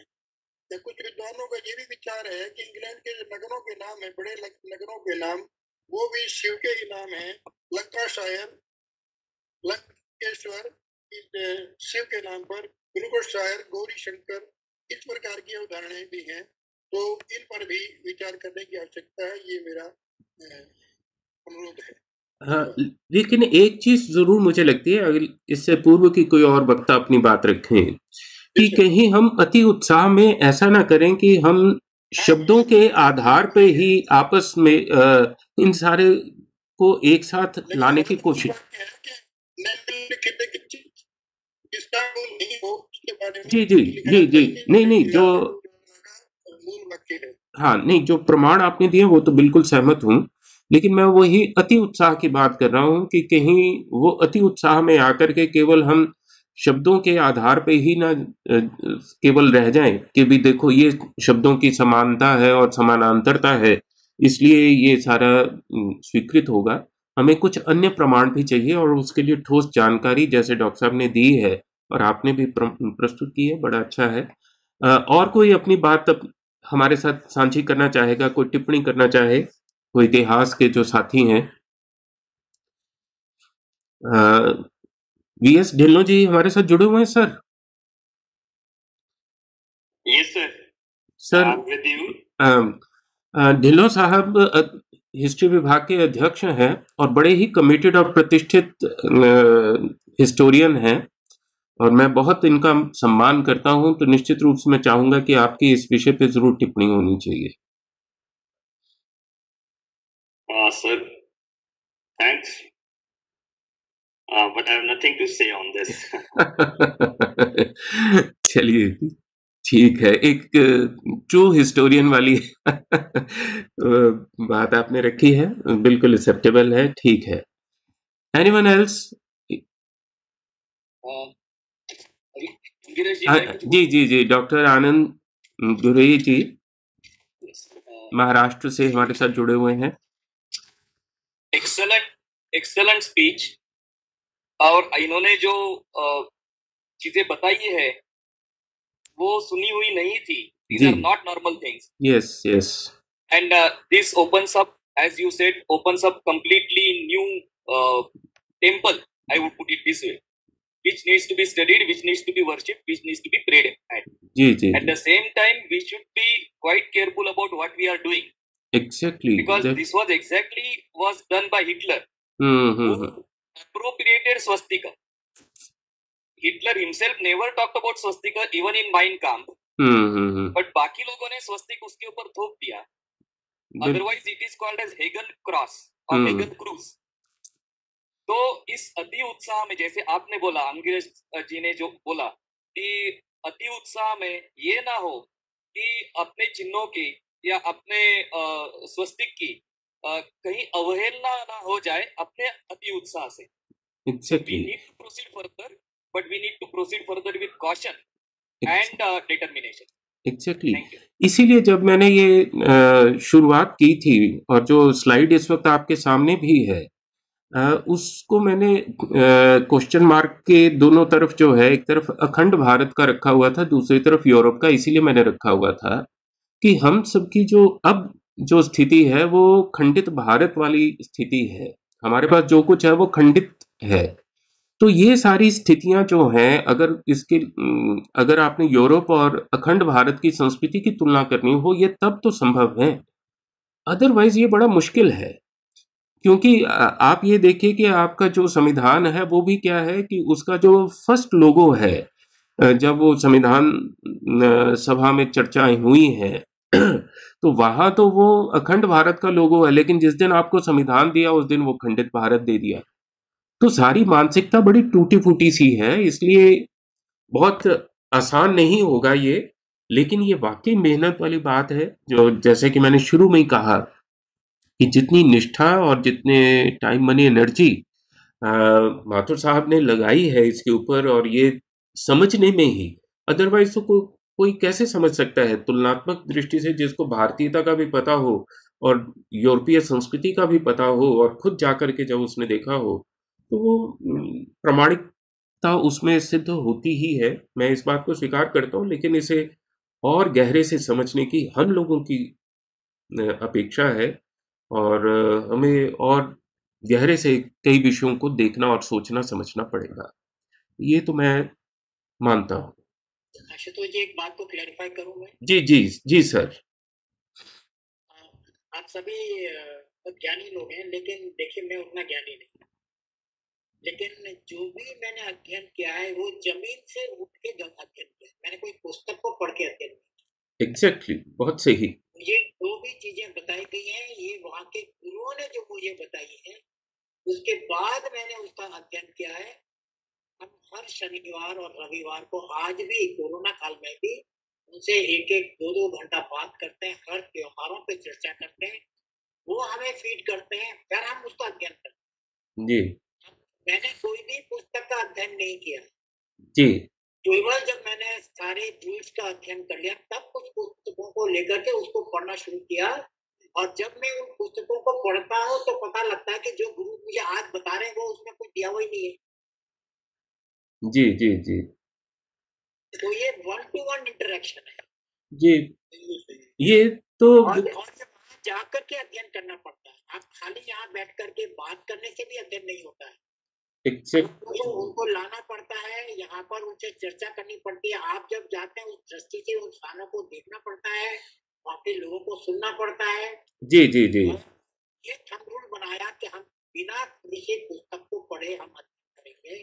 जो व्यक्तिगत रूप से वहाँ के जो गुरु है जी। जो वहाँ के स्कॉलर्स हैं उनसे बात करके जो बताते हैं उसको कोरिलेट करें जी जी जी। ये कट पेस्ट वाला मामला नहीं है ये कट पेस्ट वाला मामला। हमारी शिक्षा का डॉक्टर साहब बहुत बड़ा दोष ये रहा कि उसने हमारी सोच जो है ना वो बिल्कुल इतनी संकुचित कर दी कि हम उसके इधर उधर कुछ देख ही नहीं पाते। जैसे वो पुराने घोड़ा बग्गी होती थी और घोड़े के आँखों के ऊपर वो लगा देते थे कि इधर उधर ना देखे तो एजुकेशन ने हमारी स्थिति वैसी कर दी। लेकिन तो तो जी जी। लेकिन हाँ प्रोफेसर? ना कि या तो पुस्तकालयों में ढूंढेंगे और अब तो गूगल हो गया। तो गूगल में ढूंढ लेंगे जो वहाँ पे मिल गया वो ठीक है जी हाँ। लेकिन प्रोफेसर संजय शर्मा जी जी प्रोफेसर संजय शर्मा जी जो डीन है गौतम बुद्ध यूनिवर्सिटी में नोएडा से। सर? जी नमस्कार। सर स्वागत है। आज एक ऐसी चर्चा हुई है, निश्चित रूप से। हम सब लोग, मैं मैं अपने आप में तो वैज्ञानिक आदमी हूँ तो सोया हुआ था विषय पे। निश्चित रूप से मेरे पास लिथुआनिया के भी आदमी आते हैं और वहाँ जो योग कराते हैं, कई तरह के लोगों से, जर्मन के भी लोग आते हैं। और आज एक ऐसा विषय मिला है क्योंकि निश्चित रूप से हम संस्कृत हीन हो चुके हैं। संस्कृत हमारे पास न पढ़ते न समझते हम लोग और स्पेशली सभी को पढ़नी पड़ेगी मुझे वैज्ञानिक को तो मुझे भी पढ़नी पड़ेगी और विकासकार को भी पढ़नी पड़ेगी।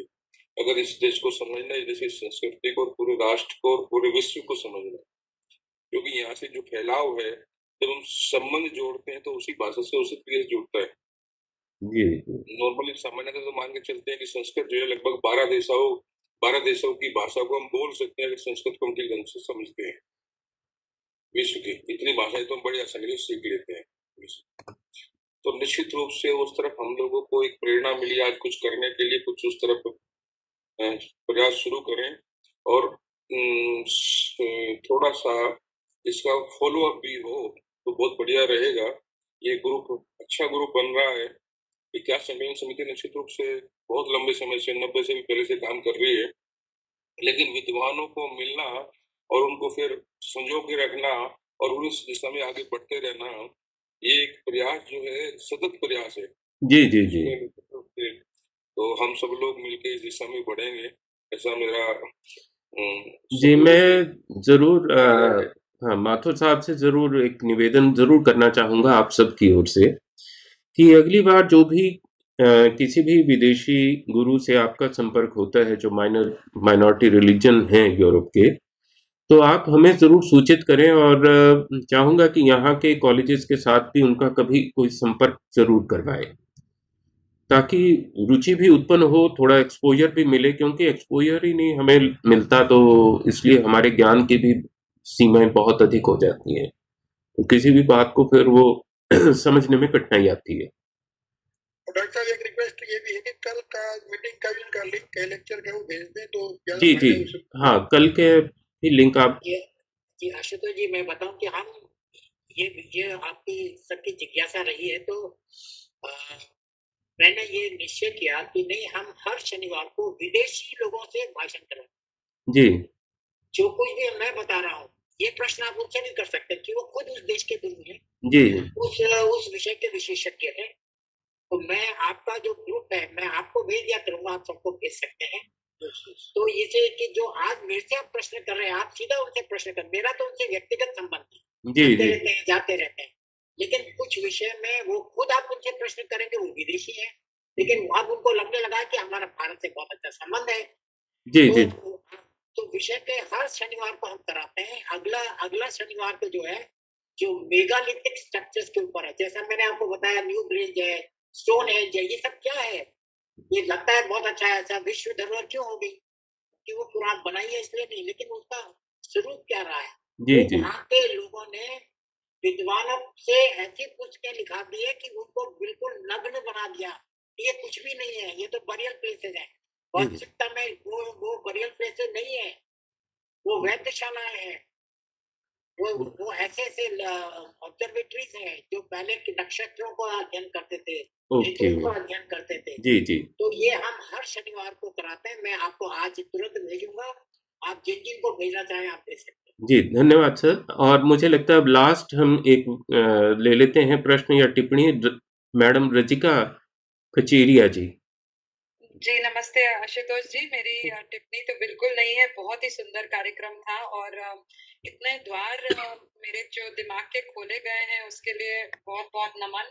एक रिक्वेस्ट है आप जब ऐसे कार्यक्रम करें मैंने अपना नंबर चैट बॉक्स में डाला है। जी सर ये मेरा रुचि का सब्जेक्ट है और बहुत अच्छा लगेगा इसमें सुनना और पार्ट लेना। थैंक यू धन्यवाद। वेलकम मैम ऐसे कोई उत्साही लोग मिल जाए तो तो अपना उत्साह और बढ़ जाता है कि भाई आगे हम कुछ कर सकते हैं। और हमारी कोशिश ये रही है कि विषय चाहे इकोनॉमिक्स के हों साइंसेस के हों, अभी पीछे पंच फिजिक्स और पंच महाभूत पे हमने किया है। उसमें भी हमने एक साइंटिस्ट को जो है नेशनल इंटरनेशनल लेवल के साइंटिस्ट को इनवाइट किया हुआ था।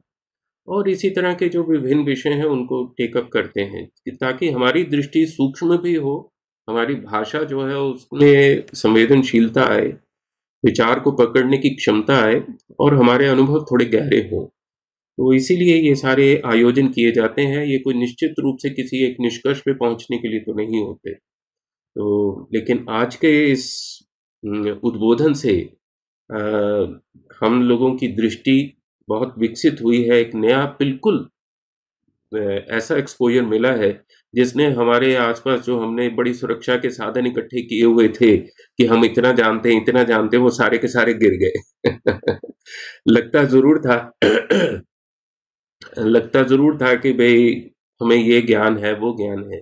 लेकिन विश्व दृष्टि को संभालने के लिए आपको बहुत अधिक मेहनत करनी पड़ती है। उसके लिए अपना व्यक्तित्व तो बहुत व्यापक करना पड़ता है। वो केवल बंधी बधाए अपने ज्ञान से और भाषा से नहीं चल सकता।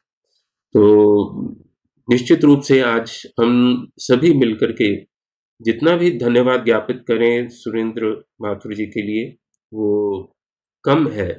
उनकी मेहनत के लिए उनकी निष्ठा के लिए उन्होंने जितना टाइम मनी एनर्जी लगाया होगा इसके लिए उसका तो अनुमान लगाना ही बड़ा मुश्किल है। तो अम, लेकिन वेबिनार की अपनी मर्यादाएँ हैं बातचीत की अपनी मर्यादाएँ हैं तो शब्दों से ही मैं उनके प्रति अपना आभार के पुष्प अर्पित करता हूँ। आप सभी की ओर से कि आप लोगों के सहयोग से आज का ये वेबिनार बड़ा सफल रहा है और आप लोगों के उत्साह को देखते हुए मुझे लगता है कि निश्चित रूप से हम कुछ न कुछ और ऐसा आगे का कार्यक्रम रखेंगे। और जैसा कि माथुर साहब ने मुझे विश्वास दिलाया है कि वो हमारा उनके साथ संपर्क कराएँगे तो निश्चित रूप से उसको हम टेकअप बहुत जल्दी करेंगे। और जो भी निकट भविष्य में हम कार्यक्रम करेंगे उसमें आप सभी को निरंतर जो है वो सम्मिलित करते रहेंगे। तो इन्हीं शब्दों के साथ आप सबका पुनः आभार। श्रोताओं का, जिन प्रतिभागियों ने अपने चर्चा रखी, विचार रखे, उन सब के प्रति मैं आभार व्यक्त करता हूँ और विशेष रूप से इतिहास विभाग के जो अध्यक्ष हमारे साथ जुड़े रहे हैं, डॉक्टर वीरेंद्र सिंह ढिल्लो महाराजा अग्रसेन कॉलेज जगाधरी से doctor Rajendra Singh DAV college Cheeka से doctor Madan Rathi doctor Pankaj ji Arya girls college से। इन सभी के प्रति मैं अपना आभार व्यक्त करता हूँ कि इन्होंने समय दिया और उसके साथ साथ आप सबका भी। तो तो जी ये सभी को मेरी तरफ़ से भी धन्यवाद। जी जी। तो मेरी तरफ़ से बहुत बहुत धन्यवाद। आपने आपने मेरा भी उत्साह बढ़ा दिया है। तो आप जब भी आदेश करेंगे हम आपके सामने जी sir. Thank you thank you very much आप लोग संपर्क में रहें मुझे व्हाट्सएप ज़रूर कर दीजिएगा और मैं रिप्लाई करके आपको अपने जो भी मेरे निकट के भविष्य में जो कुछ भी होगा उसको मैं आप लोगों को सूचना देता रहूँगा। Thank you everyone thank you so much आप लोग फॉर्म भर सकते हैं मैंने लिंक शेयर कर दिया था।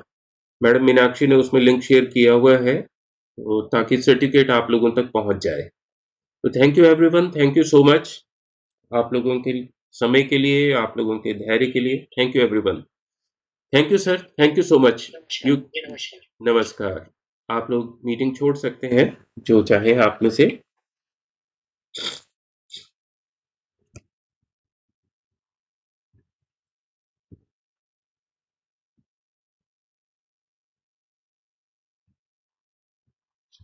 आशुतोष जी आपको यही नंबर पर मैं संपर्क भी कर सकती हूँ क्या? जी जी जी मैम बिल्कुल बिल्कुल। और आप अपने मुझे ज़रूर थोड़ा सा इ- अपने इंटरेस्ट को ब्रीफ कीजिएगा तो निकट भविष्य में ताकि उस तरह से भी उन चीज़ों को हम देख सकें। हाँ, बिल्कुल और मेरे संपर्क में बहुत अच्छे एक्चुअली कर्नल है 82 इयर्स ओल्ड के हैं उन्होंने भी बहुत अच्छा विषय में रिसर्च किया है लैकर एंटेना के ऊपर जियोपैथिक स्ट्रेसेस अच्छा। आपको अगर रुचि रखेगा तो you can yes yes definitely